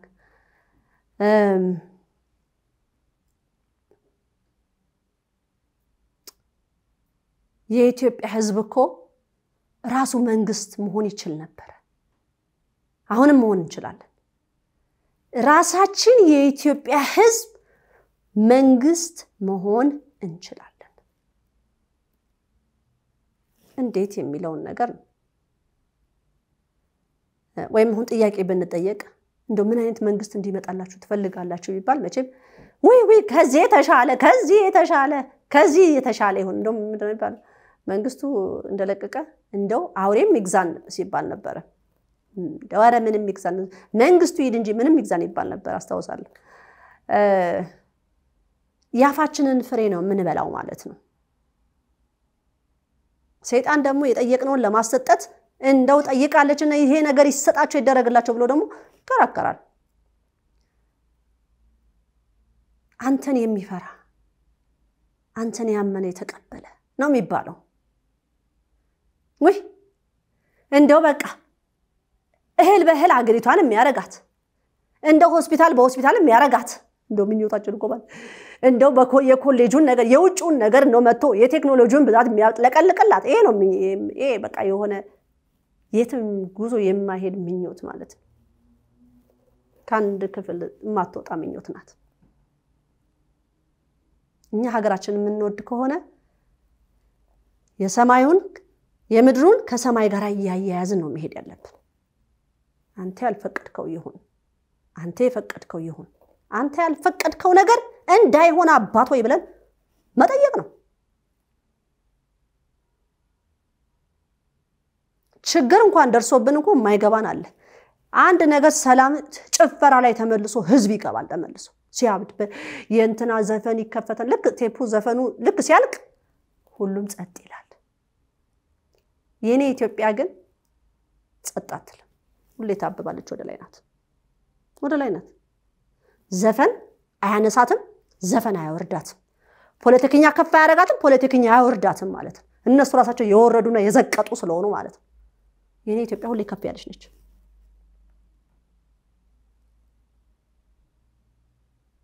ስለ ሀገሬም ስጠይቅ እንዲህ ነው የማደርገው። ሰንደቅ ዓላማዋን የኢትዮጵያን ካርታ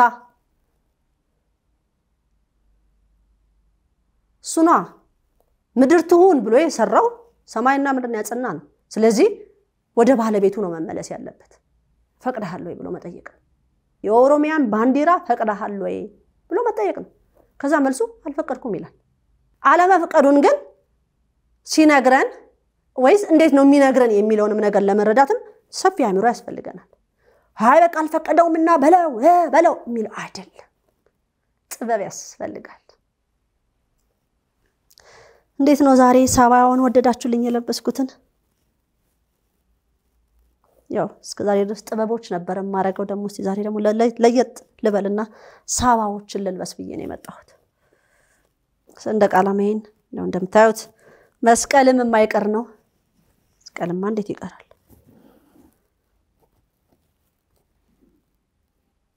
የሚገርማችሁ ነገር የዛሬ ሀያ ምናምን ዓመት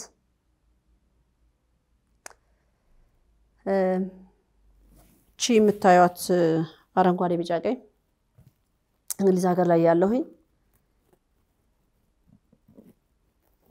ይችን እያደረግኩ ለሰው ማለት ነው ለኢትዮጵያዊ አደርግ ነበር። ይችን የሆነ በጎ አድራጎት የሆነ ዘፈን ኮንሰርት ተዘጋጅቶ ያ የገንዘብ ስብስብ ለምን እንደሆነ ትዝ ባይለኝም ስብስቡ ለበጎ አድራጎት ነገር ነው የሚውለው።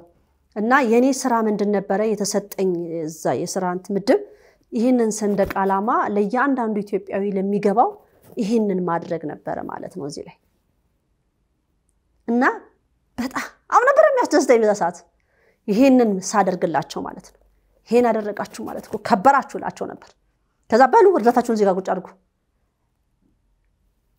አድርጌላቸው ነው ገንዘብ እዚህ ጋር ክፈሉ ብዬ የምላቸው የነበረው ማለት ሰንደቅ ዓላማችሁን አድርጉ እያልኩኝ ይችን አደርግ ነበረ።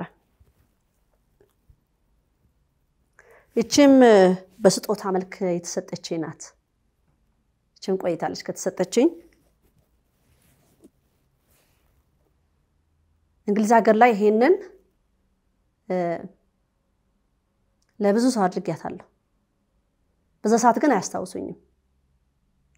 አሁን ግን አንዳንድ ሰዎች የሚያስታውሱ ይኖራሉ። የዛኔ ዛ ኮንሰርት ላይ ኮች ሴት ያው በጎ አድራጎት ላይ ይገኛለሁ፣ ጭፈራ ላይ ይገኛለሁ። በጣም ብዙ ነገር ላይ ነው የምገኘው የነበረው ማለት ነው። ሀገርን የሚወክሉ ነገሮች ላይ ይገኝ ነበረ። በቃ ሀገርን መርዳት የሚባለው ነገር ላይ በጣም የሀገሬ ነገር እንጃ ከልጅነት ጀምሮ ነው መሰለኝ ይበላኛል ውስጤ ብቻ እና ይችን አደርግ ነበረ። ከዛ እዚህ ስመጣ ደግሞ በስጦታ መልክ መጣለኝ ማለት ነው። በጣም ነው የደነቀኝ። በእርግጥ እነዚህ ሰዎች እኔ ይህንን ሳደርግ አይተውኝም አልነበሩም። ይህን የሰጡኝ ሰዎች ያው በክብር አስቀምጫት ዛሬ እንግዲህ ለመጀመሪያ ጊዜ አድርጊያታለሁ። እንግዲህ ይሄ ነገር የኢትዮጵያ ነገር ከዛም ጀምሮ የጀመረ ነገር ነው እና ሀገሬ እየተባለ በሚጨፈር ሰዓት በቃ ከዛ ዘፈኑ ሲያቆም በቃ የሀገር ነገር በቃ ተረስቷል ማለት ነው። ዘፈኑ ነበራ ወደ ላይ ወደ ላይ የሚያደርገን የነበረው። ዛሬ ቅድስት ሀገር ኢትዮጵያ ምን ሁኔታ ላይ ነች ያለችው ማለት ነው? በነማንስ እጅ ላይ ነች ያለችው?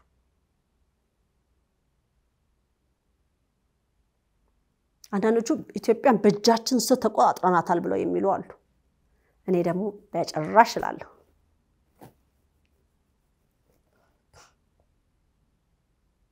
በይ ተብዬ ማለት ነው።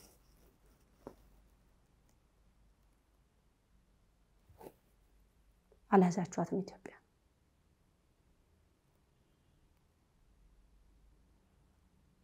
ኢትዮጵዬን አልያዛችኋትም። አያችኋት። ዛሬ እንግዲህ እዚህ ላይ ምን ይላል? ግርማዊነቶ ይላል። እዚህ ላይ ግርማዊነቶ ተብሎ እዚህ ጋር ተጽፎበታል። እኔ ያው ካርታዋ በወርቅ በመምጣቷ አስደስቶኝ ነው እንጂ ስሜት እዚህ ጋር የተጻፈም አይደለም። ይሄ ነው ትልቁ ለእኔ ያስደሰተኝ። ግን ደግሞ ለእኔ አይደለ ብቻ ያለችም ኢትዮጵያ የተሰጠችኝ በጣም ሰፊ ናት። ኢትዮጵያ የተሰጠችኝ በጣም በጣም ሰፊ ናት። እነሱ ይችን ሊደፈጥጡ ሲሉ እኔ ደግሞ ሰፊውን ይዣለሁ። እነሱ ጨምቀው ጨምቀው ጨምቀው ጨምቀው ትንሽ ሊያረጓት ሌላ ስያሜ ሊሰጧት አይቻልም፣ አይቻልም በያቸው አይቻልም። እናንተ ኢትዮጵያን ወዴት ይዛችኋት ልትሄዱ እንዳቀዳችሁ እናንተ እዛው በምድር ላይ የምትስሏት ስዕል አለ። አየለም ከሰማይ ተቀርጻ የተቀመጠች ኢትዮጵያ አለች።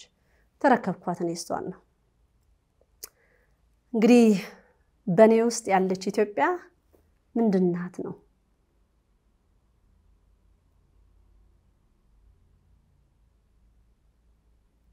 አሁንም ለቅድስት ሀገር ኢትዮጵያ ፍቅር አለን ብለን የምንል ከሆነ ፍቅራችንን በዘፈን ነው ወይ የምንገልጻት? አይደለም፣ ሊሆንም አይችልም። አንድ ሰው ዘፍኖ እኮ ኢትዮጵያን እንደዚህ ያላት፣ በጭራሽ ከእግዚአብሔር ጋር ያራርቃታል እንጂ አያቀራርባትም። የኢትዮጵያ ሕዝብ ኢትዮጵያን ወዳለው ብሎ የሚል ከሆነ ከእግዚአብሔር ጋር የሚያገናኘውን መስመር ነው ይዞ መሄድ የሚችለው፣ ሌላ የለም።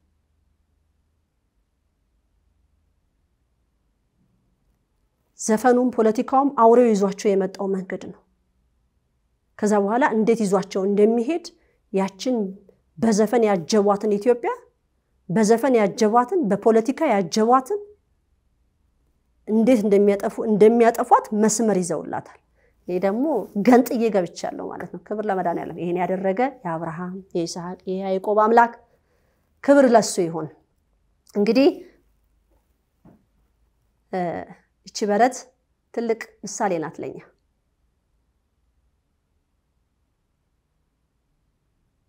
በቤተ መንግስት እንደው በተንጣለለ ነገር ውስጥ መወለድ የሚችል አምላክ የለም፣ በረቱ ይበቃኛል። ወላዲት አምላክም እንዴ ንጉሥ ነው ነው ሞልደውና በጭራሽ እኔ በረት ውስጥ እንዴት እወልዳለሁ ብላም አላለችም። እንደዚህ ነገር የላት።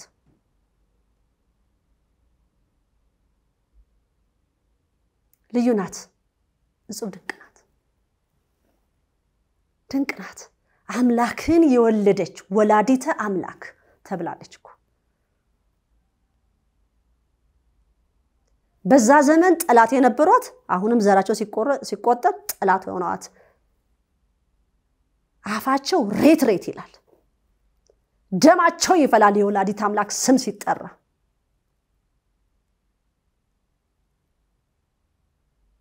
ወላዲት አምላክን በመያዛችን ጣዖትን ያዙ ይሉናል። ቀንተው እኮ ነው፣ ውስጣቸው ሰላም ስለሌላቸው። ወላዲት አምላክን የያዘ ውስጡ ሰላም አለው።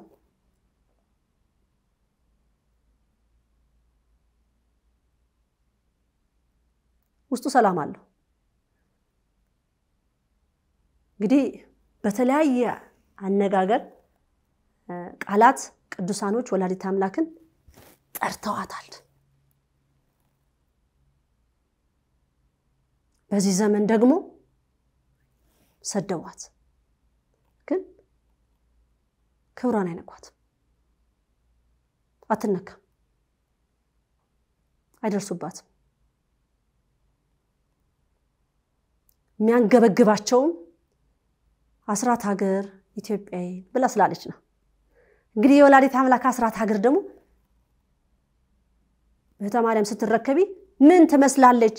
አሁንስ ያለችበት ሁኔታ ምንድን ነው? ወደፊትስ ምንድን ነው የሚለውን ማየት የምንችለው እኛ እኔ የተሰጠኝን ኢትዮጵያ ለማየት ሁላችንም መንበርከክ ያስፈልገናል።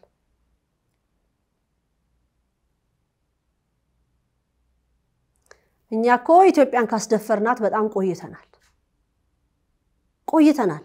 በእግዚአብሔር ኃይል ነው ኢትዮጵያ ያለችው።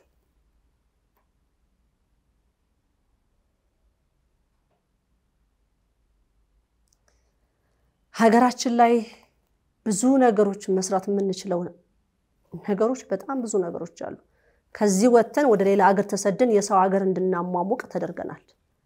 የተማርነውንም እውቀታችን ሌላ ቦታ ላይ እንድንሰራው አድርገውናል። ምን አያልፍልኝ እዛ ብሰራውማ ምን ዋጋ አለው እየተባለ ሀገርን ማጥላላት፣ ሀገር የማያሻግር ቋንቋ እየተባለ ቋንቋችንን መርገጥ ዛሬ አይደለም የተጀመረው፣ ቆይቷል ቆይቷል። ይሄ ቋንቋ ይሄ አነጋገር ከተባለ ስለ ቋንቋችን መረገጥ ከተጀመረ ዘመናት አልፎታል። ያ ነው ያ ፍሬያችን ነው ዛሬ እያየ ነው ያለ ነው።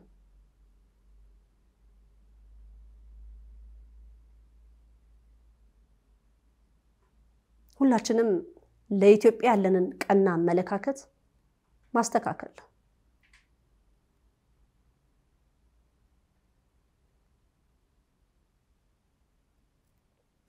በቅርቡ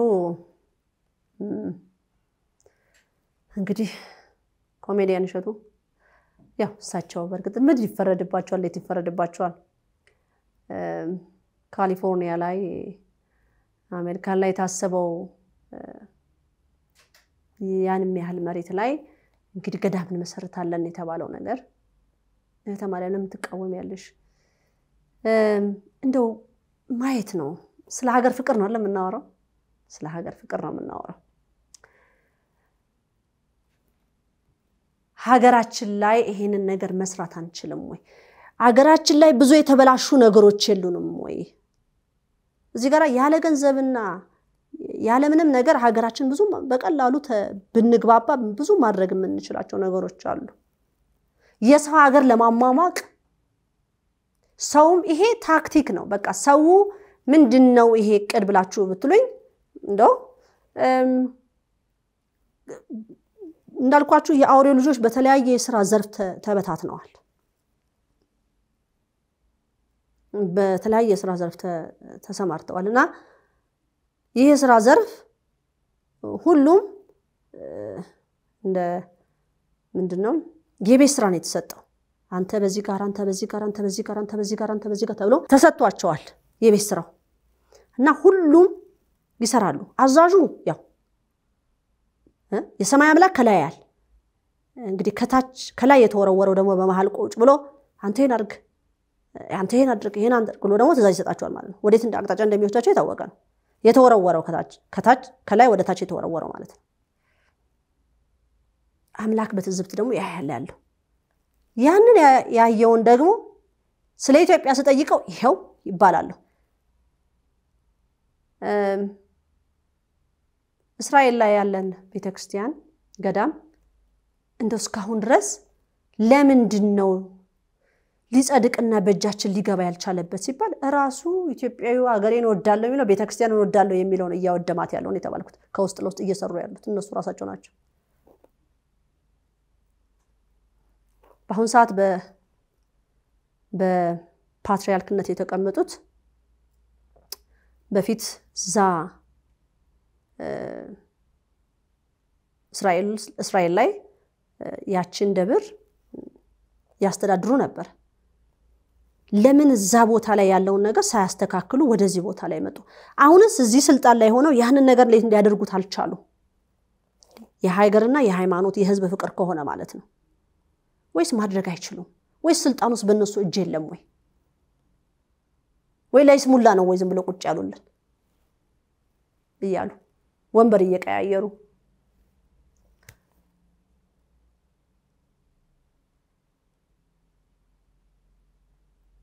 የሚገርም ነው። እና ይሄ ገዳም ምንን አጠቃለለ ቢባል የአእምሮ ህመምተኞችን ሆስፒታል አለው ተባለ ማለት ነው። ትንሽ ይመታኛል እኔን። ምክንያቱም ከኔ ጋር ያለ አምላክ እንኳን አእምሮን ማስተካከል ከሞትም ያነሳል።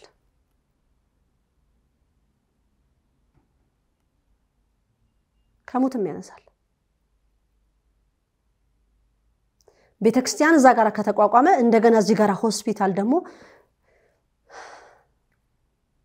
ገዳም ላይ ይህ አይነት ስራ ሆስፒታሉንም ሁሉንም የሚያካሄድ መርፌውም እየተወጋ ወዘተ በቃ እነሱ የሳሉት ስዕል አለ ብቻ እና ለህዝቡ ሊቀርጹበትና ሊያስቀምጡበት የፈለጉት ጭንቅላቱ ላይ ማለት ነው። ህዝቡን እንደፈለጉ መንዳት ይችላሉ። እንደዚህ ያደርጉት እንደዚህ እንደዚህ ያደርጉት እንደዚህ። እኔን ግን መንዳት አይችሉም። እኔን መንዳት አይችሉም። እንደው ስታስቡት ይህን ሁሉ አመት ቆሜ ስናገር ይህን ሁሉ ጊዜ መልእክት ሳስተላለፍ እንደው አንድም እውነት እንኳን አጣችሁ ከዚህ ላይ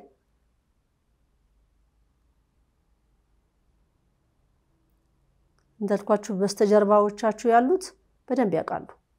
እና ምንድን ነው ዓላማው ለሚለው ኢትዮጵያ ሄደህ ጸበል ከምትጠመቅ እዚህ ካሊፎርኒያና ላያና ምን ጨነቀ? ሄደህ እዛ ብርህን አሁን የአስራት ብር ነው። የአስራት ብር ኢትዮጵያኖች አሜሪካን ሀገር የሚኖሩ ካሊፎርኒያ ሌላ ስቴት ውስጥ የሚኖሩ ኢትዮጵያ ከሚመጡ እዛው ካሊፎርኒያ ላይ ሄደው ብራቸውን እዛ ወጥተው አስራታቸውን እዛ ያወጡ ጥምቀታቸውን እየተጠመቁ ይኸው ዳን። ከዛ እሱም እሱ ደግሞ ካልሆነልህ ደግሞ ይኸው ሆስፒታል አለልህ እዚህ ደግሞ በመርፌ እየተጠቀጠቅ ደግሞ መድኃኒት እየታዘዘልህ ደግሞ ልክ ትገባለህ ተብሎ መመሪያ ይሰጠዋል። እንደዛ አይደለም ቋንቋ የሚነገረው። ልክ ትገባ ትድናለህ ተብሎ ይነገረዋል። ጸበሉን ቢ ካለክ ይኸው ሆስፒታል ደግሞ አለልህ። እንደ ምርጫ የኔ አባት ምርጫ ሊሆን አይችልም። ካመንን ማመን ነው ተብለናል። ወይ እሳቱን ወይ ውሃውን ተብለን እንድንመርጥ ታዘናል። በግድ እመኑም አይባልም። ክርስትናችን በግድ ይህን ማመን አለባችሁ፣ ካላመናችሁ ትገደላላችሁ፣ ትጨፈጨፋላችሁ፣ በሰይፍ ትበላላችሁ የሚልም እምነትም የለንም። መዳን ትወዳለህን ብሎናል የአብርሃም አምላክ ክብር ይግባው። ያከበረን አምላክ ይክበር። በሰይፍ ትመታለህ፣ ትገደላለህ የሚል እምነት የለንም። ከዚህ እምነት ወጥተሃልና በሰይፍ ትበላለህ፣ ትቀጠቀጣለህ፣ አንገትን ትቆረጣለህ፣ እጅን ትከተፋለህ የሚል እምነት የለንም። እኛ ርትት የላት እንደ ፍቃድ በእምነት ነው ያለውም ለዚህ ነው ሳያዩኝ የሚያምኑኝ ብፁዓን ናቸው ለተባለው። ስለዚህ ህዝቡ ወደ ስደት ዓለም እንዲሄድ ስደትም ሆኖ ወደ ኢትዮጵያ እንዳይመኝ እዚሁ አለልኝ እንዴ ምን ችግር አለ? እዚሁ አለልኝ አይደል? ሁሉ ነገር እዚሁ ልጠቀም፣ እዚሁ ልኑር።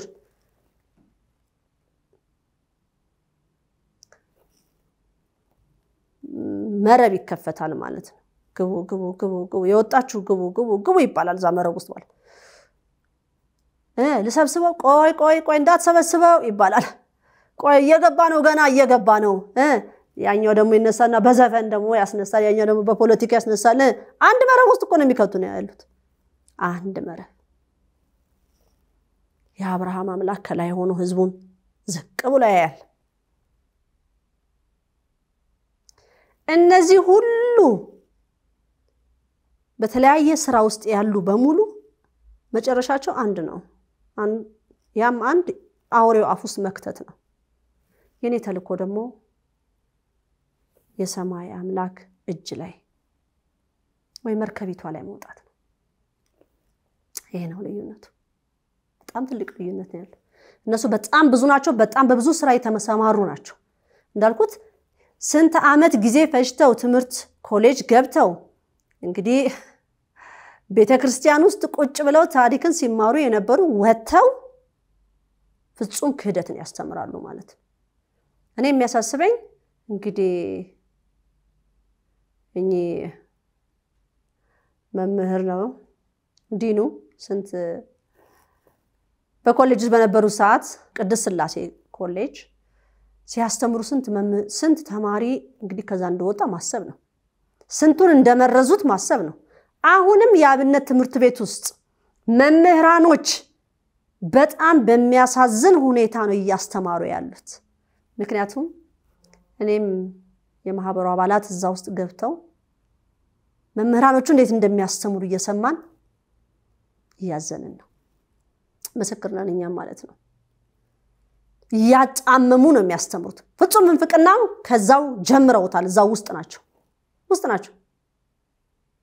ይሄም ከዛው ከቡድን ውስጥ ናቸው። እንዳልኩት በተለያየ ስራ በተለያዩ መስኮት ተሰማርተዋል እና ተቆጣጥረዋችኋል። ተንፍሱ ሲላችሁ ተንፍሱ፣ እንዳትተነፍሱ ካላችሁ ዘብ እህተ ማርያም ጋር የለም። በቅርብ ዕለት አንድ ሁለት ወር ሆነኝ እስር ቤት ከወጣሁ ሁለት ወር እንደ ሶስት ወር እየመጣን ነው። እነዚህ ባለስልጣናት ቢሮ ገብቼ እንዳልኩት ወንበር ላይ ስቀመጥ አየሽ፣ እኛ ይሄን የመሰለ ወንበር ላይ ነው ያስቀመጥንሽ በክብር ተባልኩኝ። በዚህ በማቴሪያል የተገዙ መሆናቸውን አየሁ። ባለስልጣን ሆኖ በዚህ በጨርቃ ጨርቅ የተገዛ ኢትዮጵያን እየመራሁ ነው ሲለኝ በጣም አዝናለሁ። ወይም አንድም ቦታ ስልጣን ይዞ ሲቀመጥ ያሳዝናል። በማይረባ ጨርቅ እዛ ወንበር ላይ እኔ ስለተቀመጥኩኝ ይኸውልሽ እኛ ክብርሽን ጠብቀን በዚህ በመሰለ ወንበር ላይ ያስቀምጠንሻል ብሎ ሲለኝ ለዚህ ለማቴሪያል እንደተገዛ ነው እኔ የተረዳሁት ማለት ነው። እሱ ለእኔ ደግሞ ያ ጨርቅ ነው።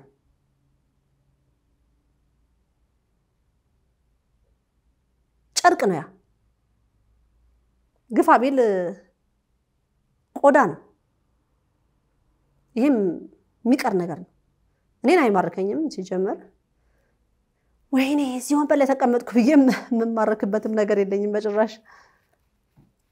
ምክንያቱም የሰማዩን ስላየሁት የምድሩ ምንም የሚያጓጓ የለው። በምድር ላይም እንደ አቅሚቲ እንግዲህ እንደ አቅሚቲ አይተነዋል፣ ግን ምንም አይወርድም። እንግዲህ አሁን ነው ሰላሜን የሚያገኘሁት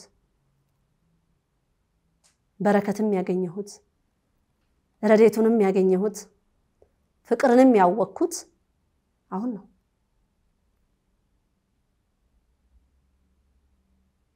ሰው መሆኔንም ያስተዋልኩት አሁን ነው። እንግዲህ አሁን ያሉት ባለስልጣኖች ለወንበርና ለጠረጴዛ በጣም የሚደነቁ ከሆነ በጣም አስቸጋሪ ነው። ለጨርቅ የሚገዙ ከሆነ በጣም አስቸጋሪ ነው።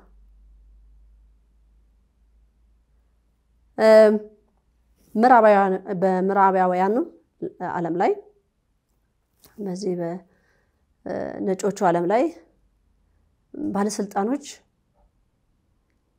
እንግዲህ ለሀገሪቷ ብዙ ነገር ያደርጋሉ። ህዝቡ እንዳይርበው፣ እንዳይጠማው፣ የስራ እድል እንዳያጣ፣ ሲወጣ ሲገባ መንገዱ ምኑ ምኑ የተስተካከለ እንዲሆን ያለ እንደዛም እያደረጉ እንደዛም እያደረጉ ጋዜጠኛ ሙልጭ አድርጎ ይሰድባቸዋል። ልክ ልካቸውን ይነግራቸዋል። ይሄን አላሟል ይሄን አደረግን ብላችሁ ይሄን እያበላሻችሁ ብሎ በጋዜጣ በዜና በስነ ስርዓቱ ይነገራል። ለምን ይሄን ተናገራችሁ ይታሰሩ የማለት ግን አይችሉም። እንግዲህ ያው ከላይ ከላይ ስናየው ማለት ነው አይችሉም። ለምን በነጮቹ ዓለም ዲሞክራሲ የሚለው ነገርም ስላለ ማለት ነው። የእኛ የክርስቲያኖች ዲሞክራሲ ደግሞ መወለዱ ነው።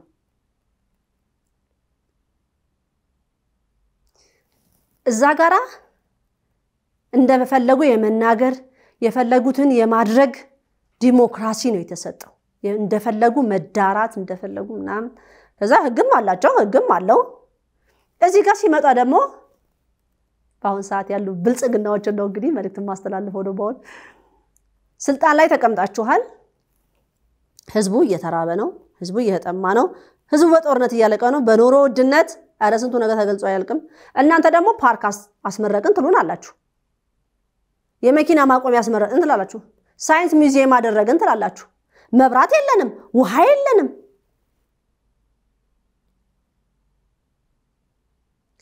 ከእግዚአብሔር ነው ብላችሁ መስክሩ ትሉን አላችሁ። ስለኛ አትናገሩ ብላችሁ ታስራላችሁ፣ ታፍናላችሁ፣ ታግታላችሁ። እንግዲህ ነጮች ይሄን ነገር እያደረጉም ጋዜጠኛ ልክ ልካቸውን ይነግራቸዋል። እናንተ ደግሞ ሳታሟሉ ቀርታችሁ ዝም በሉ። በቃ ኧረ እርቦናል አት በቃ እርቦናል አትበሉ። ኧረ ጠምቶናል ጠምቶናል አትበሉ። ዝም በሉ። ሰላም ነው በሉ። እየበላንም እየጠጣንም እየሰራንም እየገባንም እየወጣንም እዛ በውጭው ዓለም አይተናል አይተናል። የጋዜጠኛውን መብት አይተናል። እዚህ ጋር ሲመጣ ደግሞ ይሄ ሁሉ አቶ አዲስ አበባን በኢትዮጵያን በዚህ በቴክኖሎጂ ለመቆጣጠር ብዙ ነገሮች ተዘረጋግተዋል። ይሄ ግን የለም፣ ቢበላ የለም፣ ቢጠጣ የለም፣ መብራት የለም፣ መብራት የለም፣ ውሃ የለም። በሳምንት አንዴ የሚመጣበት ሰፈር አለ። በአስራ አምስት ቀን አንድ የሚመጣበት ውሃ። እንደገና ትራፊኮች መንገድ ላይ ህዝቡን ማሸማቀቅ ነው የያዙት። ጥፋት አይኖርም አይደለም እዛ ግን ለትንሹም ለትልቁም መቀጣጡ የቅጡ ሂዱና ገንዘብ ሰብስቦ የተባሉ ነው የሚመስሉት ማለት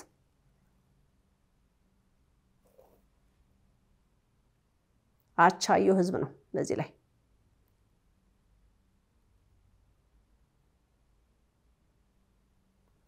አሁን እነዚህ ሰዎች ስልጣን ላይ የተቀመጡት እኔንም አሁን አስረውኝ የነበሩት ዝም በይ ታውቂዋለሽ፣ እንደዚህ መናገር አላቀውም አላቀውም።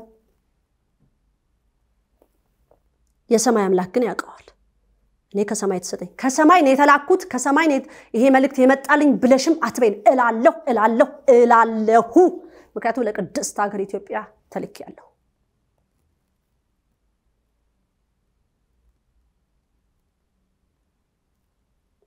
ባይዋጥላችሁ ምንም መደረግ አይችልም። ተልክ ያለሁ ከሰማይ የአንቺ አምላክ ማጣላት ነው ወይ ስራው ተብያለሁ። አያጣላም። የኔ አምላክ ያስታርቃል።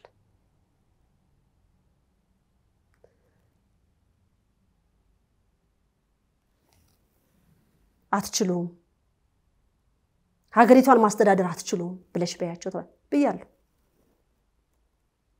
ማስጠንቀቂያ ሁሉ ተሰጥቶኛል። ከዚህ በኋላ እንዲትና ሀ እንዴት እየተራበ ህዝብ ዝም ልል ነው? እየተጠማ ዝም ልል ነው?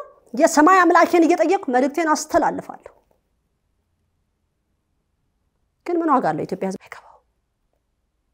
መጸለይ እንዳለበት ማመፅ አይደለም መጸለይ፣ በህብረት በአንድነት ወደ እግዚአብሔር መጮህ ነው መፍትሄ የሚያመጣልን።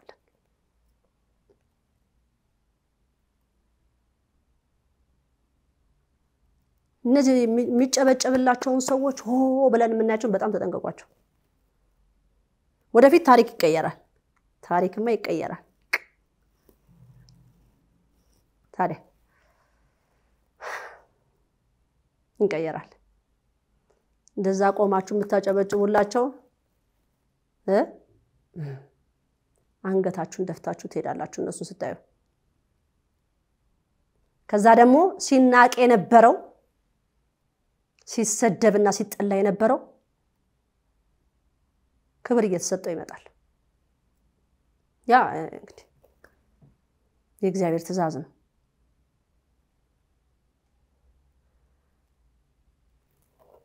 ሀገሪቷ ላይ ያለውን ሁኔታ እያየ ዝም በሉ፣ ምንም አይነት ነገር በምስል ቀረጻ ለህዝብ እንዳታስተላልፉ፣ ዝም ብላችሁ ቁጭ በሉ፣ አያገባችሁ። እንዴት ሰው ነኝ እኮ እኔ እንዴት ነው ዝም የምለው?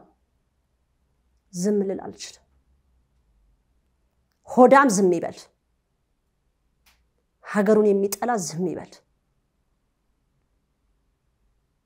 ለቤተ ክርስቲያኑ ክብር የሌለው አምላኩን የማያከብር ዝም ይበል።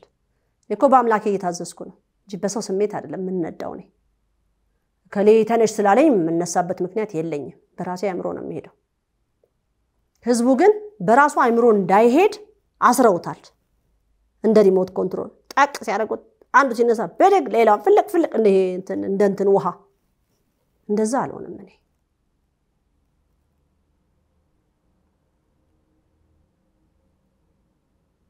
የእናንተን መልካምነት ነገርን አሁን አድርጋችሁ ቢሆን ብናወራ ግን እርግጠኛ ነኝ ቆማችሁ እንደምታጨበጭቡ ያረ ዱዱዱ እንደ ሽልማት እንሸልማችሁ እንደምትሉ። እኔ ሽልማት አልፈልግም። እኔ ሽልማት ከሰማይ አምላኬ ብቻ ነው የምፈልገው። የምድራዊ ሽልማት ከንቱ ነው፣ አያስፈልግም። ሰውን እስር ቤት ማሰቃየት እንግዲህ መቂ አፍነው ለብዙ ጊዜ ሊያስቀምጡ የነበረ እቅዳቸው የአብርሃም አምላክ አልፈቀደም። እናንተንም ዝም ብሎ የሚመለከት አምላክ እኔንም ያያል እኮ ነው። ካልገዛን እኛንን ይህንን ሀገር መግዛት ያለብን አልቻላችሁበትም፣ አገሪቷን ማስተዳደር። ይህ ግልጽና ግልጽ ነው። እንደዚህ ተብዬም ተጠይቄያለሁ። እንዴ እርስዎ ኖት ወይ ታዲያ? እሺ ያው አንዳንዶች ናቸው የጠየቁኝ እዛ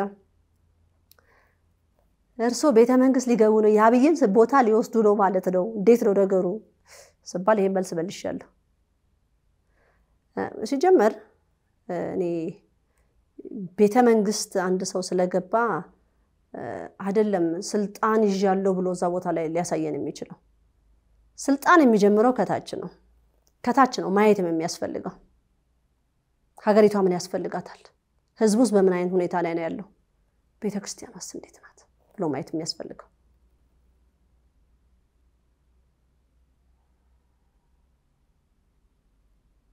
አሁን ብዙ የእምነት ተቋማት አሉ፣ በጣም ብዙ ግን በአንድ ጠቅልለዋቸው አስቀምጠዋቸዋል። እኔ ደግሞ ፍለቅ ብዬ ለብቻዬ ቆሜ እያየው ነው። ርትት ነኛ እኔ ከዛ ህብረት ጋር የለሁበት። ይህንንም ቀድሞ ያሳወቀ አምላክ ነው።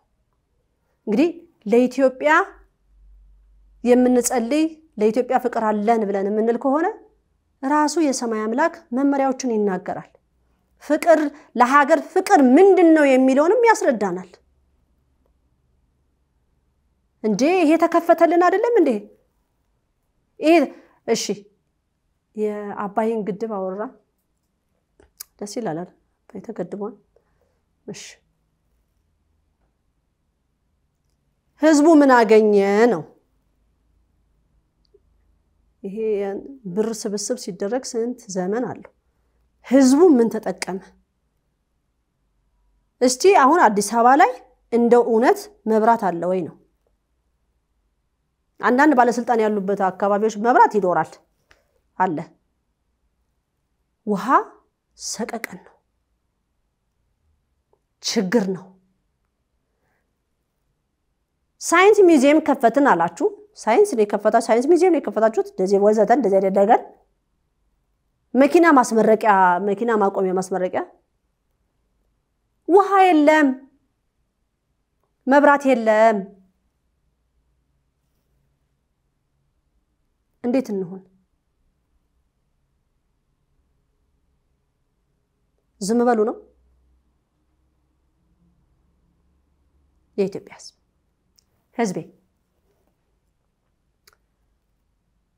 መንበርከክ ነው፣ አምላክን መለመን ነው።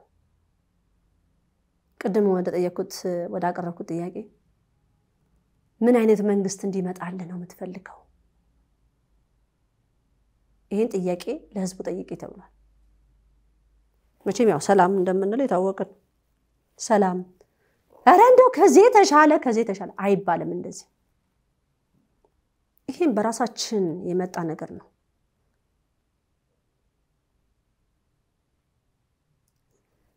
በወለጋ ህዝብ የሚሆነው ነገር አንጀት ይበላል። ጠቅላላ በሀገራችን ላይ የሚሆኑ ነገሮች አንጀት አንጀት ውስጥ ነው የሚገቡ። ግን አልሰማልና ታዲያ አልቀበላለን። ያው ወደ ጦር ግንባር የሚሄድ ሲባል አሁን ባለፈው ላይ ያየሁት የሰንጋ መዓት የበሬ መዓት ከዛ ደግሞ ዘፈን ይከፈታል እየጨፈረ ሀገሬ ሀገሬ ሀገር በዚህ አታሸንፍ። በጣሊያን ጊዜ እኮ ሰንጋ በሬ እየታረደላቸው አልነበረ። ባዶ ሆዳቸውን ነበር ለሀገራቸው ሲዋጉ የነበሩት። ባዶ ሆዳቸው ራበን ብለው አቤቱታ የማያሰቡ ስለ ረሃብም አይሰማቸውም። ረሃብም ውስጣቸውም አይሰማቸውም። ይሞላላ እግዚአብሔር ከነሱ ጋር ስለሆነ የመጣባቸው ጠላት በክፋት ስለሆነ ይሞላቸዋል። ትንሽም ቀምሰው ሙሉ ይሆናሉ። እንግዲህ በዛ ሰዓት የነበረውን መሳሪያ ማየት ነው። እነዛ ደግሞ የነበራቸውን መሳሪያ ማየት ነው። አሁን ድረስ ጣሊያን ምን እየሰራች ነው ብለው ቢታይ እስቲ አሁን ስለ ቅዱስ ጊዮርጊስ ያላትን ኃይለኛ ጥላቻ አላት።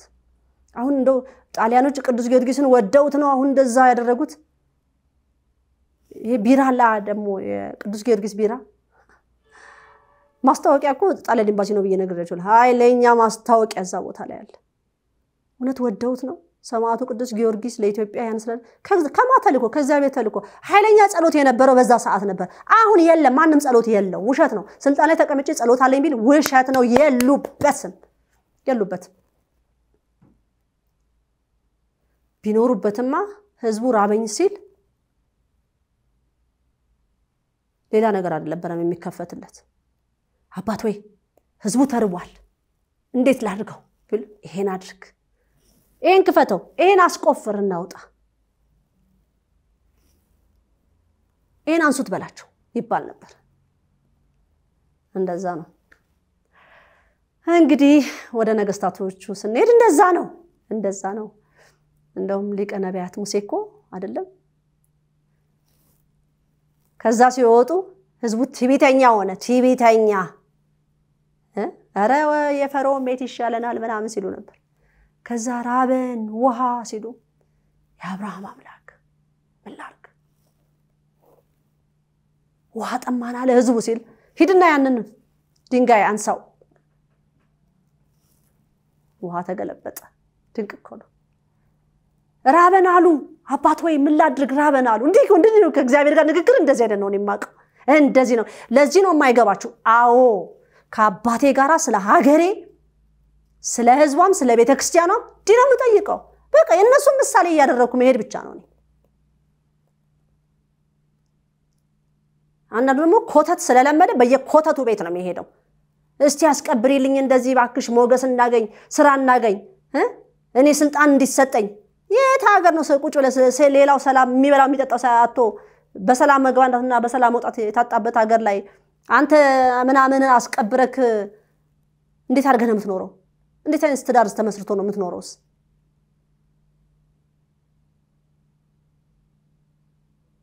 ሰላም በሌለበት ሀገር ገርም እኮ ነው።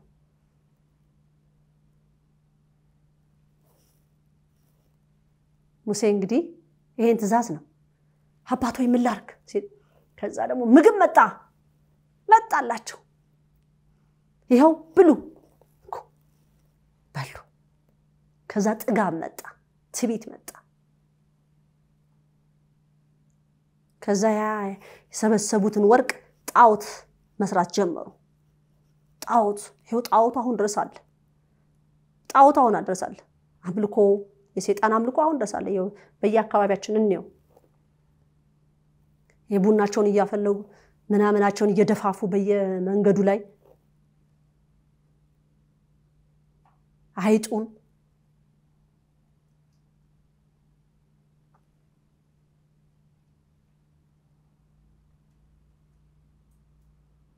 ኧረ ስንቱን ይሄ አምልኮታቸውን ዶሮ፣ ቀይ ዶሮ፣ ቀይ በግ እየመረጡ እያረዱ አይነ ስር ነው የሚያርዱት እኮ ዶሮውን ያርዱትና በር ላይ አንገቱን ይጥሉታል፣ ወይ እግሩን ጥል ጥለውልህ ይሄዳሉ። ከዛ ተቆላልፈ ትቀመጣል። ከዛ እግዚአብሔር ወይ ምን አደረግኩክ እንደው ምንድን ነው እድሌ እንዲህ የሆነው ራስን ጊዜ የለህም አለ አምላክህ።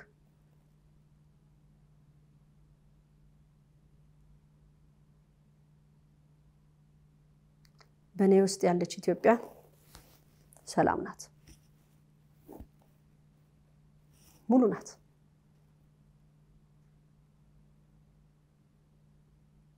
አሁንም ወደፊትም ስለ ሀገሬ ዝም አልልም። ከሰማይ አባቴ እየጠየቅኩ ይሄን አርጊ፣ ይሄን በይ፣ ይሄንን ንገሪው ለህዝቡ። ከሰማ ይስማ፣ ካልሰማ ተዩ። እንግዲህ ከፈርዖን ጋራ ተነስተው ሲወጡ አርባ ቀን የተባለው አርባ ዓመት ሆነ ማለት ነው። ምንድን ነው ይሄ? ትዕቢታቸው የተሻለ ነገር ይኸውንኩ ተብሎ ሲሰጡ ትዕቢት ተሞሉ። ጣዖቱ ይሻለናል። ውሃ ሲባል ውሃ ተሰጧቸው። ምግብ ሲባል ምግብ ተሰጧቸው። ያ ከተደረገ በኋላ ሊቀ ነቢያት ሙሴ ያንን ጾም ጸሎት ጨርሶ ሲወጣ ባዕድ አምልኮ ሲያመልኩ አግኝቷቸው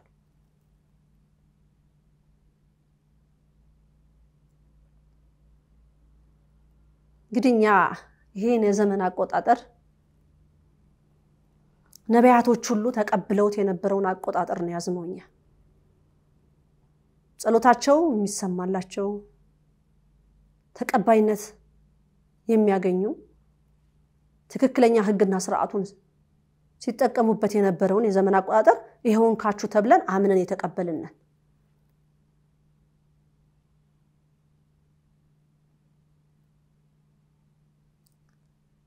ትዕግስትን ይጠይቃል።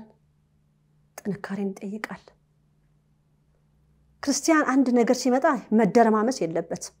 ቀጥ ለጥ ብሎ ይቆማል።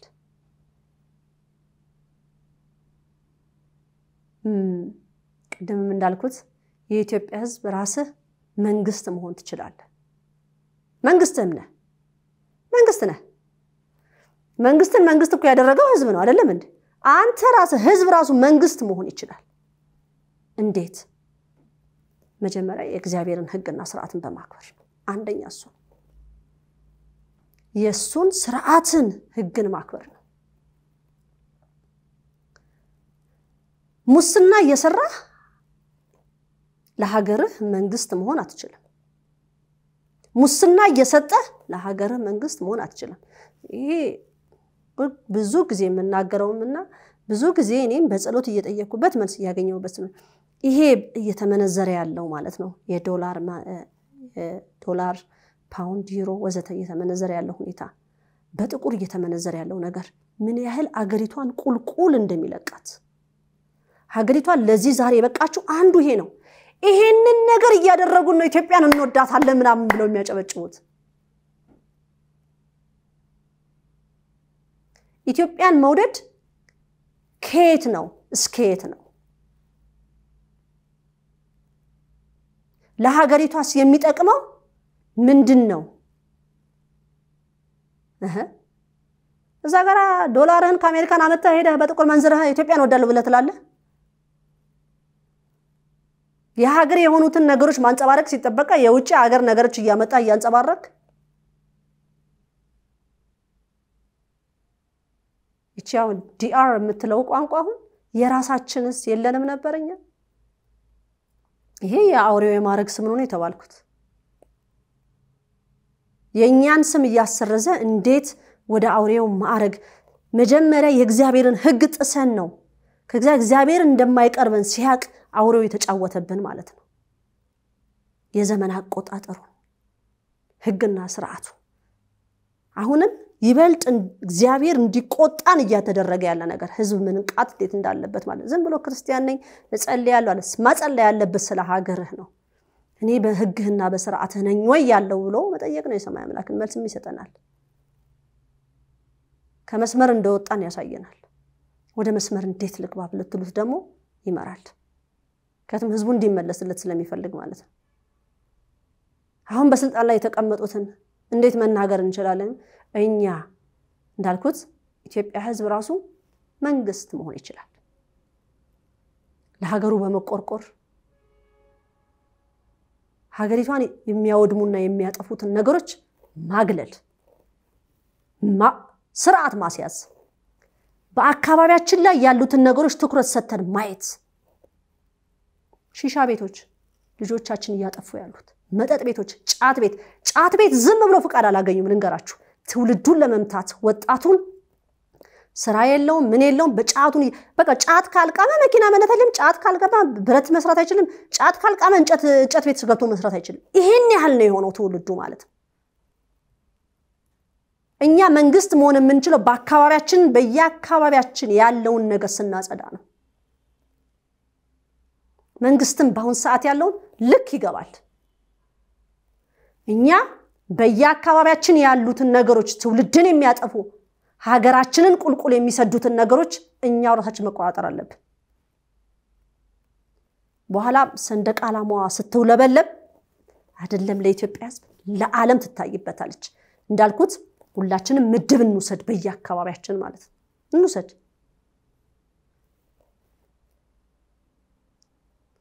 ጫት ቤቱን ማዘጋት፣ ሺሻ ቤቶችን ማዘጋት የሴተኛ አዳሪ ቤቶችን ማዘጋት ህጋዊ ናቸው የሚባልም እንዴ? ህጋዊ ባይሆኑ ታዲያ ምን ሊሰሩ ነው እዛ ጋር ተዘርግፈው የሚታዩት? ሆቴል ቤቶች የሚሰሩትን ስራ እያንዳንድ ታውቃለህ። እያንዳንድ ኢትዮጵያዊ ታውቃለህ ምን እየተደረገ እንደሆነ ማለት ነው።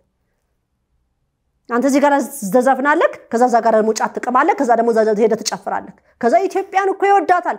አይወዳት። ኢትዮጵያን የሚወዳት እንዲህ ነው የሚያደርግላት። ኢትዮጵያ ህዝብ መንግስት መሆን እንፈልጋለን። ምን አይነት መንግስት ነው የምትፈልጉት ተብለናል። ይሄ ነው ብለን ከማለታችን በፊት እኛ መጀመሪያ እናስተካክልና ከዛ እንጠይቅ፣ መልስ ይሰጠናል። እያንዳንዱ አካባቢያችንን በዚህ ከተቆጣጠርን እያንዳንዱ ልክ ይገባል። ህብረት ይሄ ነው፣ መተሳሰር ነው ያለብን። እስከዛሬ ድረስ አንድ ለአምስት እያሰሩ ሲያስሩ አንድ ለአምስት አንድ ለሰባት አንድ ለዘጠኝ እያለ ያካሄድ አሁን ደግሞ በእግዚአብሔር ትስስር ትምህርት ቤቶችን ማጥናት በአካባቢያችን ላይ አዳዲስ ሰዎች የሚገቡት እነማን ናቸው ብሎ በደንብ ማጣራት፣ ምንድን ነው በየቤቱ የሚሰራው ብሎ ማጣራት፣ የራሳችን ራሳችን በአካባቢያችን ላይ ኮሚቴ ፈጥረን ይሄን ማድረግ እንችላለን።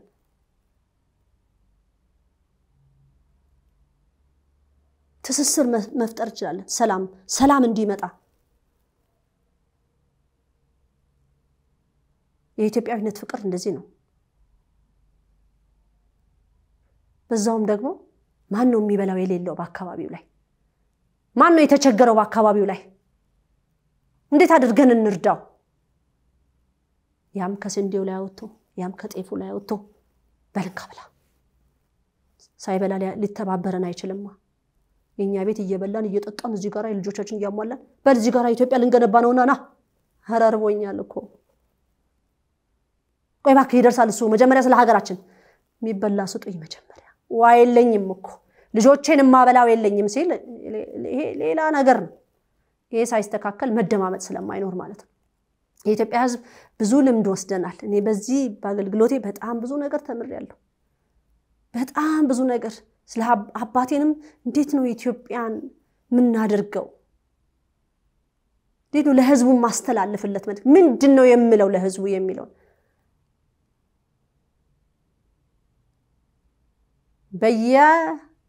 በየአካባቢያችን ነገሮችን በዚህ መልኩ ካደረግን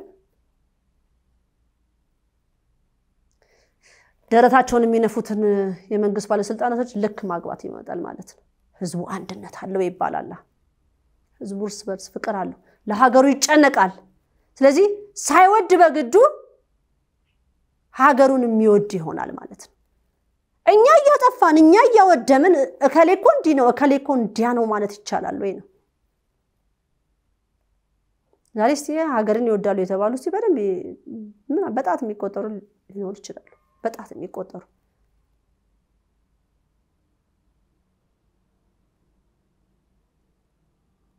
በየአካባቢያችን ይህን እናጽዳ፣ ይህን እናስተካክል። ሺሻ ቤቶች ይዘጉ፣ ጫት ቤት ይዘጋ፣ ዝሙት ቤቶች ይዘጉ። እነዚህ ደረታቸውን ነፍተው ያሉ ሆቴል ቤቶች በእርቃናቸው ሴቶች እየጨፈሩ ያሉበት ቤቶች እየጠቆምን እናዘጋ። ይሄ እንዲቆምልን ጥርሳችን ነክሰን እንቁም።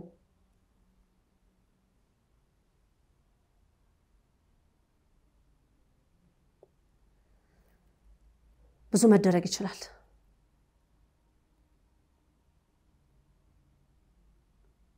እርስ በርስ ፍቅር ሳይኖረን እርስ በርስ መስማማት ሳይኖረን እንዴትስ አምላክን ተንበርክከን እኛማ የምንፈልገው ይሄንን ነው ብለን ለመጠየቅ ደረታችንን ነፍተን ምን ብቃት አለን?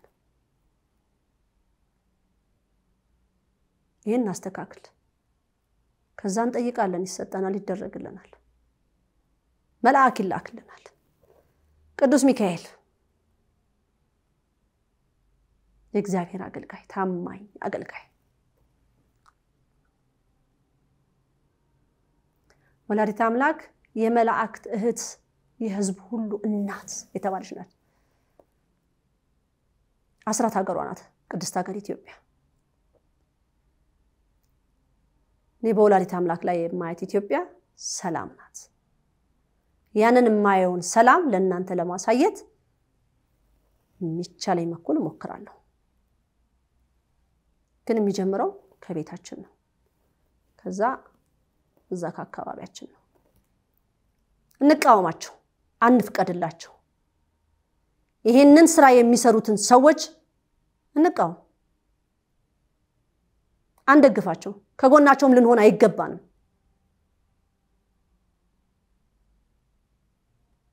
እነዚህ ሁሉ ነገሮች ለሀገር ጥፋት ይሆናሉ።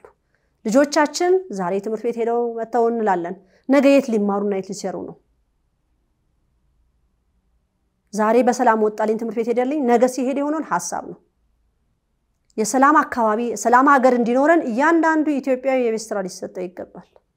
ከኔ ይሄ ነው ከንግስተ ነገስት ተማርያም ዘኢትዮጵያ እያንዳንዱ ኢትዮጵያዊ ፍቅር አለኝ ብለህ የምትል ከሆነ በየአካባቢያችን ላይ መስራት አለብን። በጣም የሚገርመኝ ነበር እንግሊዝ ሀገር እያሉ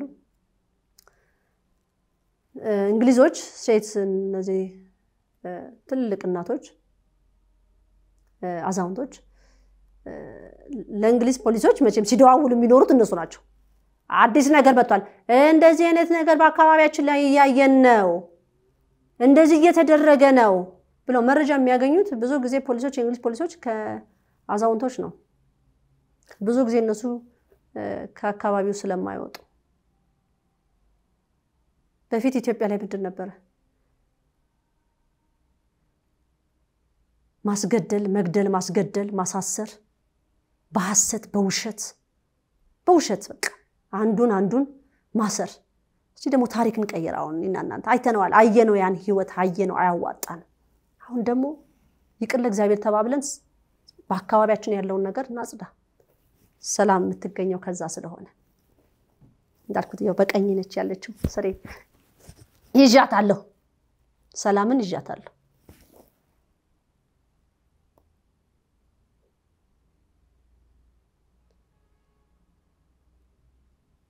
ሰንደቅ ዓላማዋም ስትውለበለብ አደለም ለኢትዮጵያ ሕዝብ ለዓለም ትታያለች። ምን ዋጋ አለ? አሁን ይሄ ነው ሰንደቅ ዓላማ ብለን ብናውለበልበው ከስር ያለነው እያወደምናት እንወዳታለን የምንል ሰዎች እያወደምናት ሰንደቅ ዓላማ ይሄ ነው ማለት አንችልም። በእግዚአብሔር እይታ ውስጥ በቃ የሚሰራው ስራ እጅግ የሚያሳዝን ስለሆነ ያንን እናስተካክል። ብዙ ተምረናል። በእድሜ እንግዲህ እኔ አርባ አምስት ዓመት ሆኖኛል። ብዙ ነገር አይቻለሁ። በዚች አገልግሎቴ ውስጥ በጣም ብዙ ነገር ነው የተማርኩት።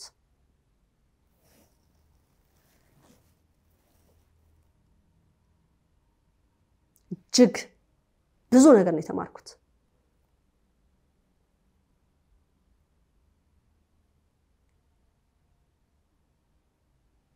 በዓለም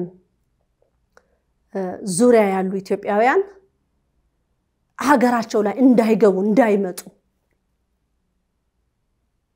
እዛው ቁጭ ብለው እድሜ ልካቸውን እንዲኖሩ ይሄ ራሱን የቻለ አንድ ሴራ አለ። እኛ ሀገራችን ላይ ሆነን ነው ያለ ነው ኢትዮጵያውያን። በጋራ መስራት እንችላለን። ይህንን ማድረግ እንችላለን። በዚህም እናሸንፋለን። አካባቢያችን ላይ ያሉትን ሺሻ ቤቶች፣ ጫት ቤት፣ መጠጥ ቤቶች፣ የጠንቋይ ቤት ሁላ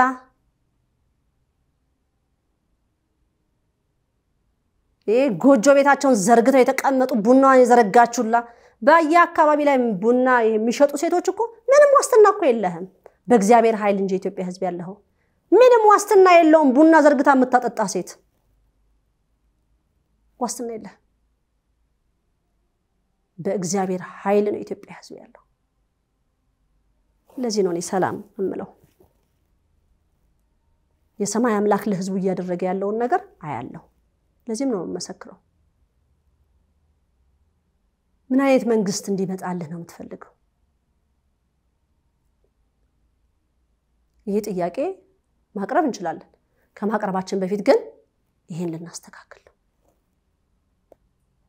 ጠይቀናልም፣ በተግባርም ደግሞ ሰርተን የአብርሃም የይስሐቅ የያዕቆብ አምላክ ደግሞ በተግባር ያሳየልናል ማለት ነው። ከዛ እነዛ ህብረት ያላቸው ኢትዮጵያውያን ይባላል ማለት ነው። አሁን እኮ ህብረት እንዳይኖሩ በታት ነው ውሃል፣ በጥቅም ጥለውሃል፣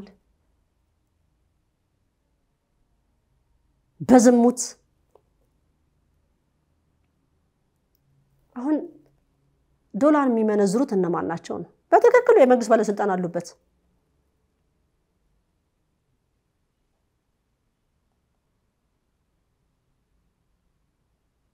ህዝቡ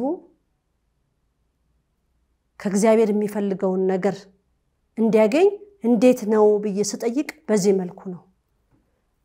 በውጭ ያላችሁ ደግሞ ወደ ሀገር ግቡ ሲባል እንዴት እዛ ሀገር እኖራለሁ? እና ሀገርን ወደድክ? እዛ ቁጭ ብለክ እዛ ሰው ሀገር ላይ ቁጭ ብለህ ኢትዮጵያ ኢትዮጵያ ብትል ተሰሚነት የለህ።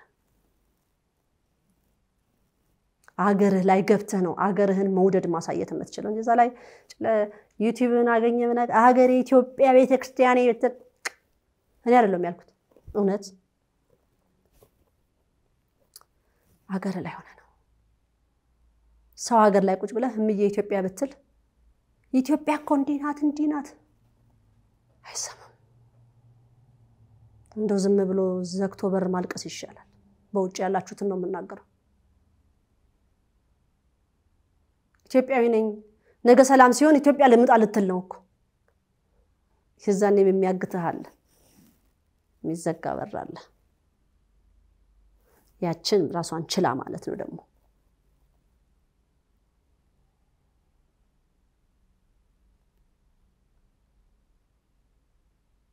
ሰላም ለሀገር፣ ሰላም ለሕዝብ፣ ሰላም ለቅድስት ቤተ ክርስቲያን።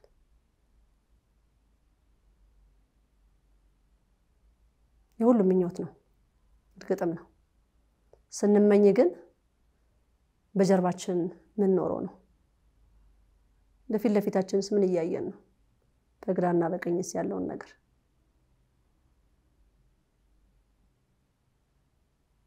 ልባችን ንጹህ አድርገን ስለ ሀገራችን መልካም ነገር የምንመኝ የምንፈልገውን ነገር ለማድረግ ከኛ ይጀምራል። አካባቢያችን ለትውልዱ ለማነጽ የሚመች ቦታ ነው ወይ ብሎ መጠየቅ ነው። ቀላል ነው፣ መልስ አለ።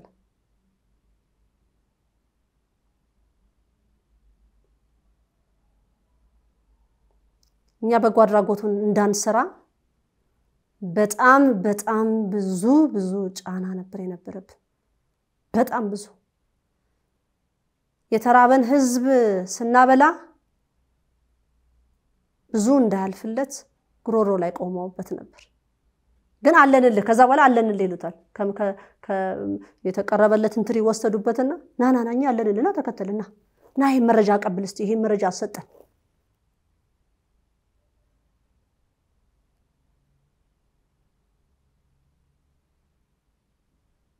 ዛሬ ብዙዎች ወድቀው የሚታዩት በኢህአዴግ ጊዜ ወሬ ሲያቀባብሉ የነበሩ አላለፈላቸው፣ ምንም አላለፈላቸው።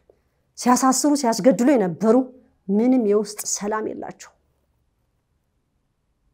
እነሱም ልጆቻቸውም ሰላም የላቸው። ይሄ ነገር ግን በዚህ መቀጠል አለበት ወይ ነው? ከእግዚአብሔር ጋር ተጣርቀው የሰላም ሀገር ላይ እንዲኖሩ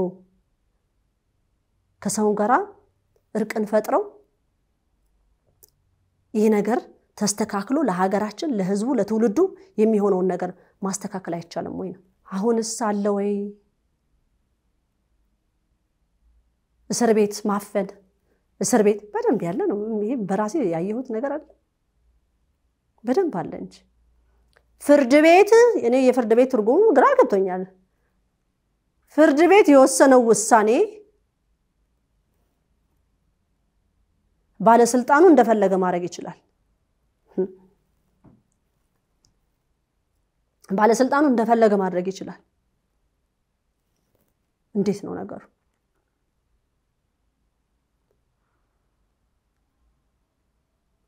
ፍርድ ቤቱ ይፈታ ብሎ በከላይ ደግሞ አይፈታም፣ እኔ ባልኩት ሰዓት ነው የሚፈታው። ታዲያ ለምን ፍርድ ቤት መውሰድ አስፈለገ? ለምን ህግ ህግ ጥሰሻል፣ ህግ ጥሰሃል ለምን ይባላሉ? እነዛን ሰዎች ካሰራችሁ ፍርድ ቤት ልንወስድ ነው ካላችሁ ፍርድ ቤት እንዲዳኝ ከሆነ በትክክለኛ ያለውን መረጃ አቅርባችሁ እነዛ ሰዎችን የሚያስጠይቃቸውን ነገር ጠቅላላ ፍርድ ቤቱ የሚጠይቃቸው መስፈርቶች ካሟላችሁ ያ ሰው በአግባቡና በስነስርዓቱ ይቀጣል። ምንም ያላደረገውን እናንተ ገና ነገር ስላልወደዳችሁት እናንተ ስላልተስማማችሁ ለምን ይሄ መልእክት ለከሌ ይተላለፍለታል? ለአብይ ይህን ነገር ለምን ትየዋለሽ? ከሰማይ ነው ብለሽ አትበይ። ከሰማይ ነው።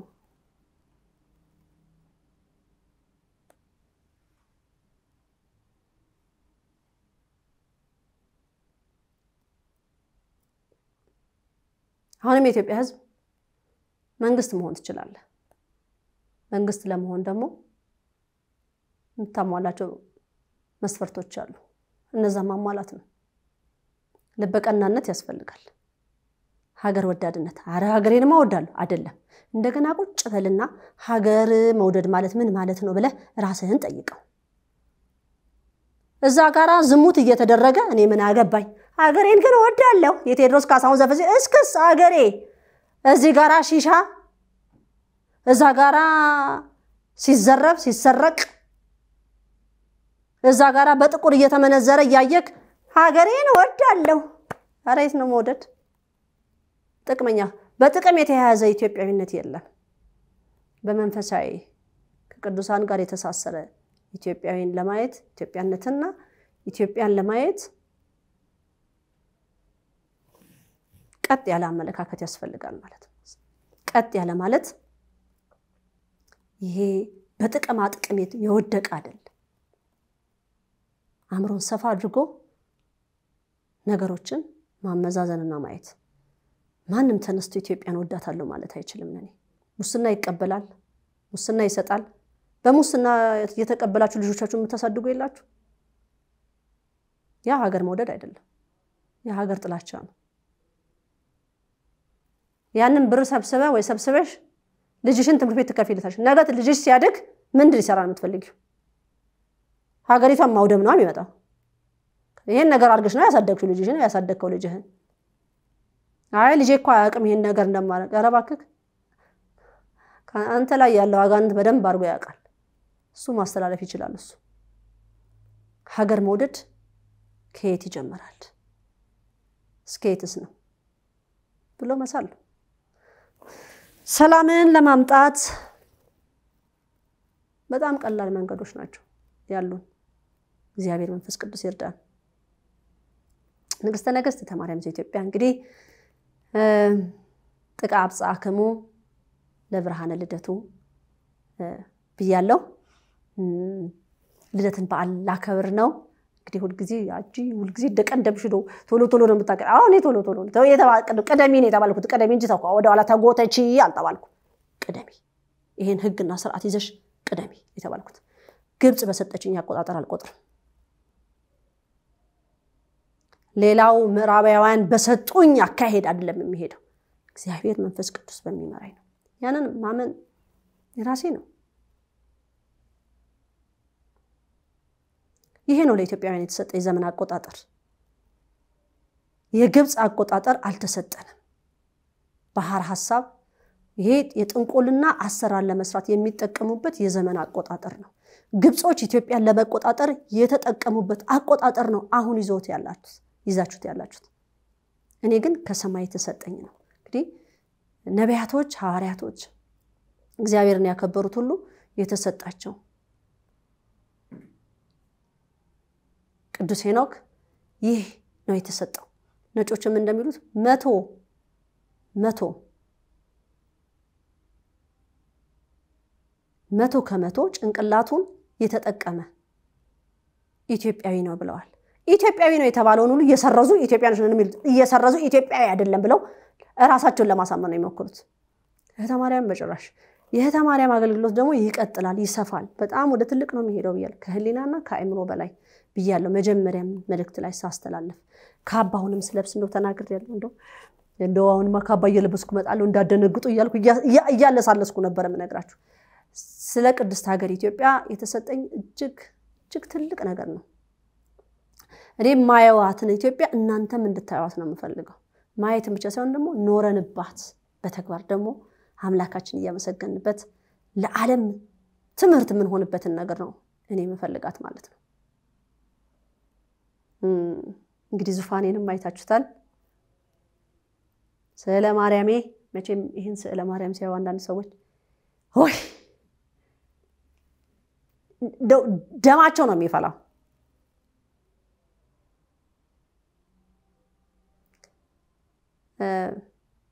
ኢትዮጵያ በክርስትና ነው ልትታነጽ የምትችለው። ጥንትም የነበረው ኢትዮጵያዊነት ተዋህዶነት፣ ተዋህዶነት ኢትዮጵያዊነት። በወላዲት አምላክ ትልቅ የተሰጠን ነገር ቃል ኪዳን ሰባቱ ኪዳናት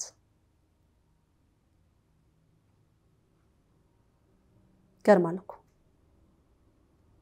እያንዳንዱ ሰባቱ ኪዳናት ለኢትዮጵያ የተሰጣት ነገር። አሁን ደግሞ እኛ ኪዳነ ምሕረት ላይ ነን ያለ ነው። ኪዳነ ቃሏ ኢትዮጵያ ሕዝብ በቃል ኪዳኑ ነው የሚኖረው በወላዲት አምላክ። የፈለገ ወላዲት አምላክን የሚሳደብ ቢመጣ ራሱ ይዘቅጣል እንጂ የእኛ እናት ክብሯ እንዳለ ነው። ክብር ይግባት። ማንም ክብሯን አይነካ። ማንም ራሱ ይጨማለቃል እዛ ማለት ነው። ራሱን ይጎዳል። ከዛ ያው ልሳኑም ተዘግቶ እጁም እግሩም ሽባ ሆኖ ይቀመጣል። ይሄ አይቀርም አይቀርም። ይሄ ወንጌልን እያጣመሙ የሚያስተምሩ ይጣመማሉ ይጣመማሉ። ግን ከዛ መማር አለብን እኔና እናንተ። መቼም ዛሬ እንደምትወዱልኝ ዛሬ አረንጓዴ፣ ቢጫ፣ ቀይ ሆኛለሁ። ሰንደቅ ዓላማዬን አሸብርቅ ያለው ደስ የሚልም የበገና መዝሙር አለን። እንግዲህ እናት ደግሞ እንግዲህ ትልቅ አስተዋጽኦ አላት። ሀገር እናት ነው የምትባለው፣ በሴት ነው ሀገር የምትጠራው እና በዚህ በልደት በዓል ላይ እናቶች ደግሞ የበገና ትምህርት ሲማሩ ቆይተዋል። እነሱ ደግሞ እስቲ ለወላዲት አምላክ ለአምላክ እናት ንግሥተ ሰማይ ወምድር ያላቸውን ፍቅር በፊት ላይ ቤተክርስቲያን በመሄድ በማስቀደስ ታምሯን በመስማት በረከቱን ይዘው ነበር። አሁን ደግሞ ከዛም ደግሞ ጸሎትን ተማርን። አሁን ደግሞ በገናን እየደረደሩልን እናቶች ለትውልዱ አስተማሪ የሚሆነውን ነገር እግዚአብሔርን የማመስገን የርትዕት ተዋሕዶ እምነት ተከታዮች እናቶቻችን እንግዲህ እኔም አንዷ እናት ነኝ። ይሄንን በገና ቢያንስ አሁን ወደ ሁለት ወር ከሁለት ሳምንት አካባቢ ይሆናቸዋል ሲሰለጥኑበት በሚገርም ሁኔታ ነው። በሳምንት እንዲህ ሶስት ጊዜ አራት ጊዜ እየመጡ ለሁለት ለሁለት ሰዓት እየተማሩ ይሄዱ ነበረ ማለት ነው።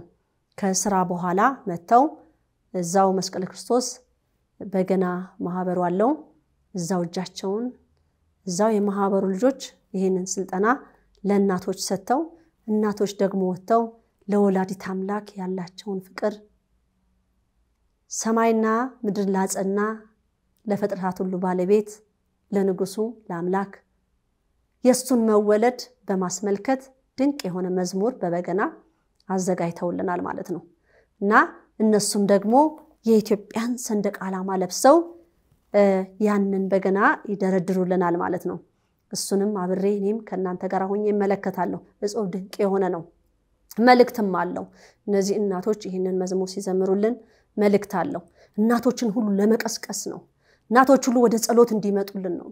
እናቶች ሁሉ ይህንን ማድረግ ይችላሉ። እናቶች በአሁን ሰዓት ለልጆቻቸው መጨነቅ፣ ማዕድ ምግብ ማዘጋጀት፣ ልጄ በላ፣ ልጄ መጣ ከትምህርት ቤት ምን ያስፈልገዋል፣ ተመርቋል፣ ስራ አገኘ ምናምን የሚለውን ብቻ ይሄ ያ የስጋ ለልጆቻችን ይሄ ደግሞ በምድር ላይ ደግሞ እያለን ለአምላክ ጊዜ ሰተን ለአምላክ ጊዜ ሰተን ይህችን ሰዓት መዝሙር፣ ምስጋና በገናዋን እናቶች ይዘው ሲደረድሯት እንዴት ያምራል መሰላችሁ። እና ይህንን ደግሞ ዓለም እንዲያውቀው ዓለም እንዲማርበት ሌሎች እናቶች ደግሞ ይህንን ፈለግ ይዘውልን እንዲከተሉልን ምክንያቱም እናት ትልቅ ስራ ስላላት ለልጇ ትልቅ ነገር ናት፣ ለሀገር ትልቅ ነገር ናት።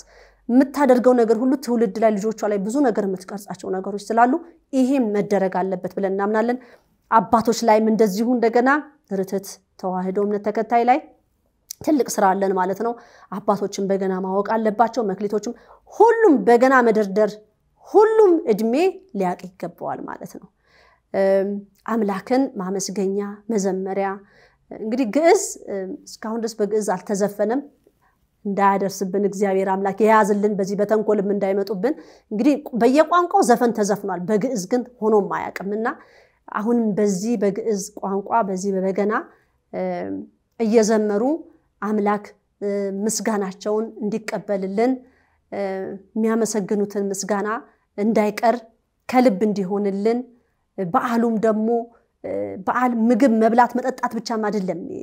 ይሄ በዓል ምስጋናን ማድረግ ነው። ሕዝብን ማስተማሪያ ነው። እንዳልኩት ቀደም ቀደም ሲል ቪዲዮ ላይ እንደተናገርኩት ምን እንዳልኩት በረቱ ራሱ በቤት ውስጥ ወላጆች ከልጆቻቸው ጋር እንዲሰሩት ይህንን ነው ማስተላልፈው ማለት ነው። እንግዲህ መስቀለ ክርስቶስ ላይም ልዩ የሆነ በረት ተሰርቷል። በዋሻ መልክ ነው የተሰራው። ተራራ ላይ ያለ ምሳሌ ሆኖ ነው የተሰራው። በየዓመቱ የተለያየ ነገሮችን ለመቅረጽ ነው። ምክንያቱም ይሄ አውሬው ያመጣቸው አውሬውና የአውሬው ልጆች ያመጧቸው የገና ዛፍን በተመለከተ ያንን ከሰው ሕሊና ለማውጣት ስንል ነው ይህን ነገር እየተጠቀምን ያለ ነው ማለት ነው። በጣም ብዙ አውሬው በሄደበት መንገድ ሁሉ እየሄድን የእሱን ስራ ማፍረስ አለብን ማለት ነው። እንግዲህ እግዚአብሔር ይርዳን እና የእናቶችን መዝሙር እስቲ እናቶች ደግሞ ያላቸውን በዚህ ዘመን በኑሮ መጨናነቅ አለ፣ በብዙ ነገር አለ። ግን ያን ደግሞ ትንሽ ወደዛ አድርጎ ደግሞ እስቲ አባት ወይ ላመስግንህ ማለት ደግሞ ግድ ስለሚለን ማለት ነው። ከእናቶች ብዙ እንማራለን። እናቶች ለእኛ ብዙ ዋጋ የከፈሉት ነገርም ስላለ እነሱም ደግሞ እስቲ ከእግዚአብሔር ጋር ያላቸውን በታሪክ ያወቅነው አለ አሁን ደግሞ ማየት የምንፈልገው በዚህ ዘመን ደግሞ ማየት የምንፈልገውን ነገር ርትት እየቀረጸች ነው ማለት ነው። ወደፊትም ደግሞ አበውን ደግሞ አባቶቻችንን ደግሞ ምን እንደሚሰሩ ደግሞ በዚሁ በገና ላይ ደግሞ እናያለን ማለት ነው።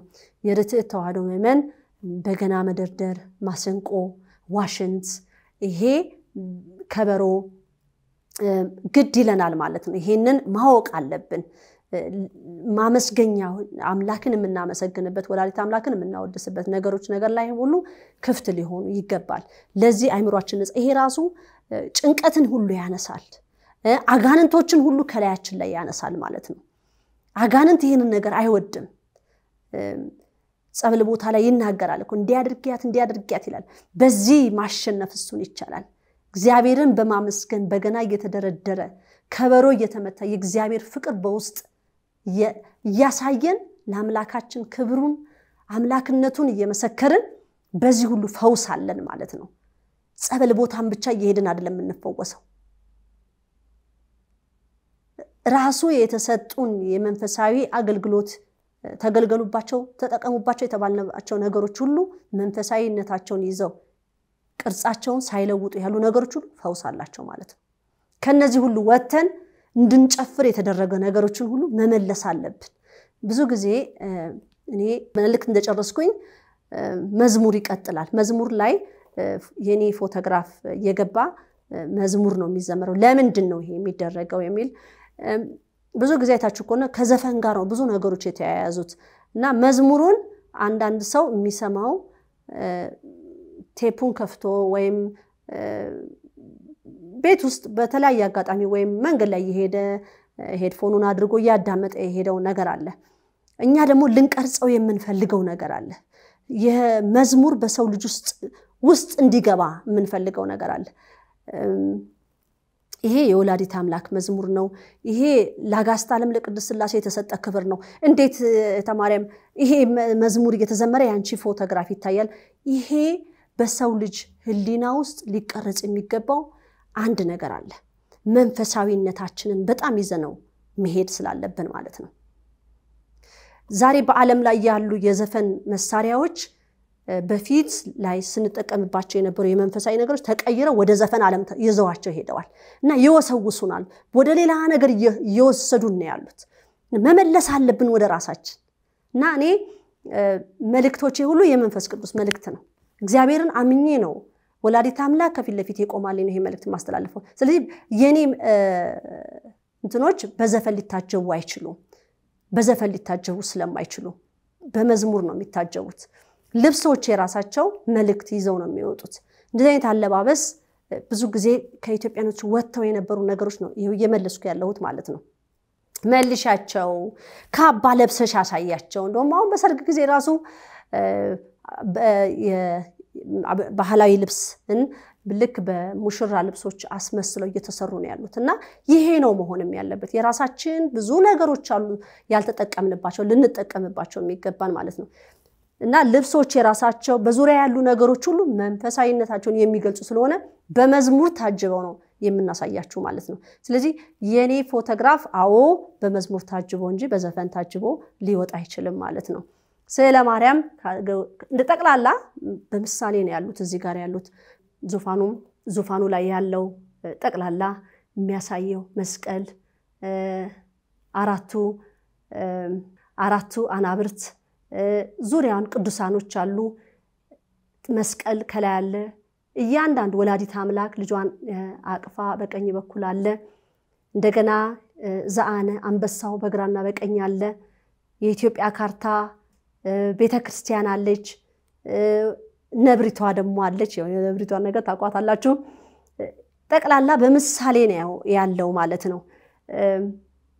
ስዕለ ማርያምም እንደዚሁ የኔ ሰው በአእምሮ እንዲቀርጸኝ የምፈልገው እህተ ማርያም ሲባል እህተ ማርያም በመንፈሳዊ ሕይወት ያለች ናት። በተግባርም ትኖረዋለችም እንድባልም እፈልጋለሁ መኖርም ስላለብኝ ምክንያቱም እዚህ ጋር ዝም ብዬ አይደለም እንከን አይጠፋልኝም ሰው ነኝና ፍጹም ልሆን አልችልም። ግን ይህንን እዚህ ጋር ከኔ ዙሪያ የምታያቸው በሙሉ ሀገሬን ከምን በላይ ሃይማኖቴን የሚገልጹ ነገሮች ነው የማስቀምጠው። ወደፊትም ብዙ ነገሮች ሊኖሩኝ ይችላሉ ማሳያችሁ ማለት ነው። እንግዲህ መቋሚያው እነዚህ ቅሎች የምታያቸው መጋረጃው ራሱ ራሱ የኢትዮጵያ ባህላዊ ጨርቅ ነው።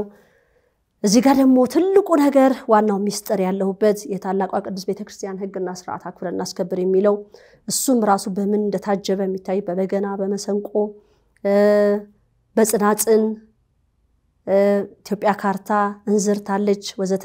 እንግዲህ ይህ እንደገና ደግሞ ዛሬ ወቅቱን አስመልክቶ ደግሞ በረቱ አለ ማለት ነው። ይሄንን ሁሉ እዚህ በረት ውስጥ ደግሞ ለአምላክ የቀረበለትን ስጦታዎችን አስመልክቶ ውሃ አለ እዚህ ጋር በቅል ላይ እንደ ምሳሌ ሆኖ የተቀመጠ ይሄ ደግሞ ሙዳይዋ ወርቅ የያዘች ማለት ነው። ይሄ ሁሉ ህዝቡ ላይ ልቀርጽበት የምፈልገው ነገር ነው። እንግዲህ አውሬው ህዝቡ ላይ የቀረጸው ነገር አለ እና እኔ ደግሞ አንዳንድ መዝሙሮችን የምጠቀማቸው ነበሩኝ እና አሁን አንዳንድ ዩቲዩበሮች ያንን ክሌም የማድረግ ነገር አላቸው። እኛ ደግሞ በዚህ ቪዲዮ በዚህ ኢትዮጵያ ላይ ምንም አይነት ገቢ በዩቲዩቡ የለንም እና ይሄንን ስንጠቀም ራሱ ብዙ ተቃውሞ የሚደርስብን ጊዜ አለ እና ህዝቡ መዝሙሩን ከመንፈሳዊ ነገር ጋር እያያያዝን ህዝብ ውስጥ እንዲገባ ነው የኛ ፍላጎት ማለት ነው። እንግዲህ ወደፊት ብዙ የምናሳያቸው ነገሮች አሉ። ርትት ደግሞ ራሱ መዝሙሮችን እያወጣ በግዕዝ በአማርኛ እነዚህ ሸ፣ ጀ፣ ጨ ፊደላቶችን እያወጡ ደግሞ በአዲስ መልኩ መዝሙሮቹን ለመዘመር እየተዘጋጀ ነው ማለት ነው። እንግዲህ እናቶችን ከልብ እግዚአብሔር ይስጥልን። ሳይሰለቹ ከትምህርት ከልጆቻቸውን ጠዋት ትምህርት ቤት አድርሰው ከዛ በኋላ የትምህርት ሰዓት አላቸው፣ የስራ ሰዓት አላቸው። ያንን ጨርሰው መጥተው ደግሞ ይችን በገና ትምህርት ለመማር መጥተው ያው ብዙ ሩጫ ነው ያለባቸው፣ ብዙ የቤት ኃላፊነት አለባቸው። ያችን ተሻምተው መጥተው ያችን የበገና ትምህርት ተምረው ሄደው ነው ይህንን የመሰለ መዝሙር የተዘጋጁልን ማለት ነው። እግዚአብሔር ይስጥልን። ይህን ይመስላል።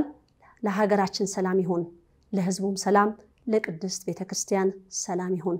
አፈቅርክሙ እንኳን አብጽአክሙ ለብርሃነ ልደቱ ወስብሐት ለእግዚአብሔር ወለወላዲቱ ድንግል ወለመስቀሉ ክቡር። ይቆየን።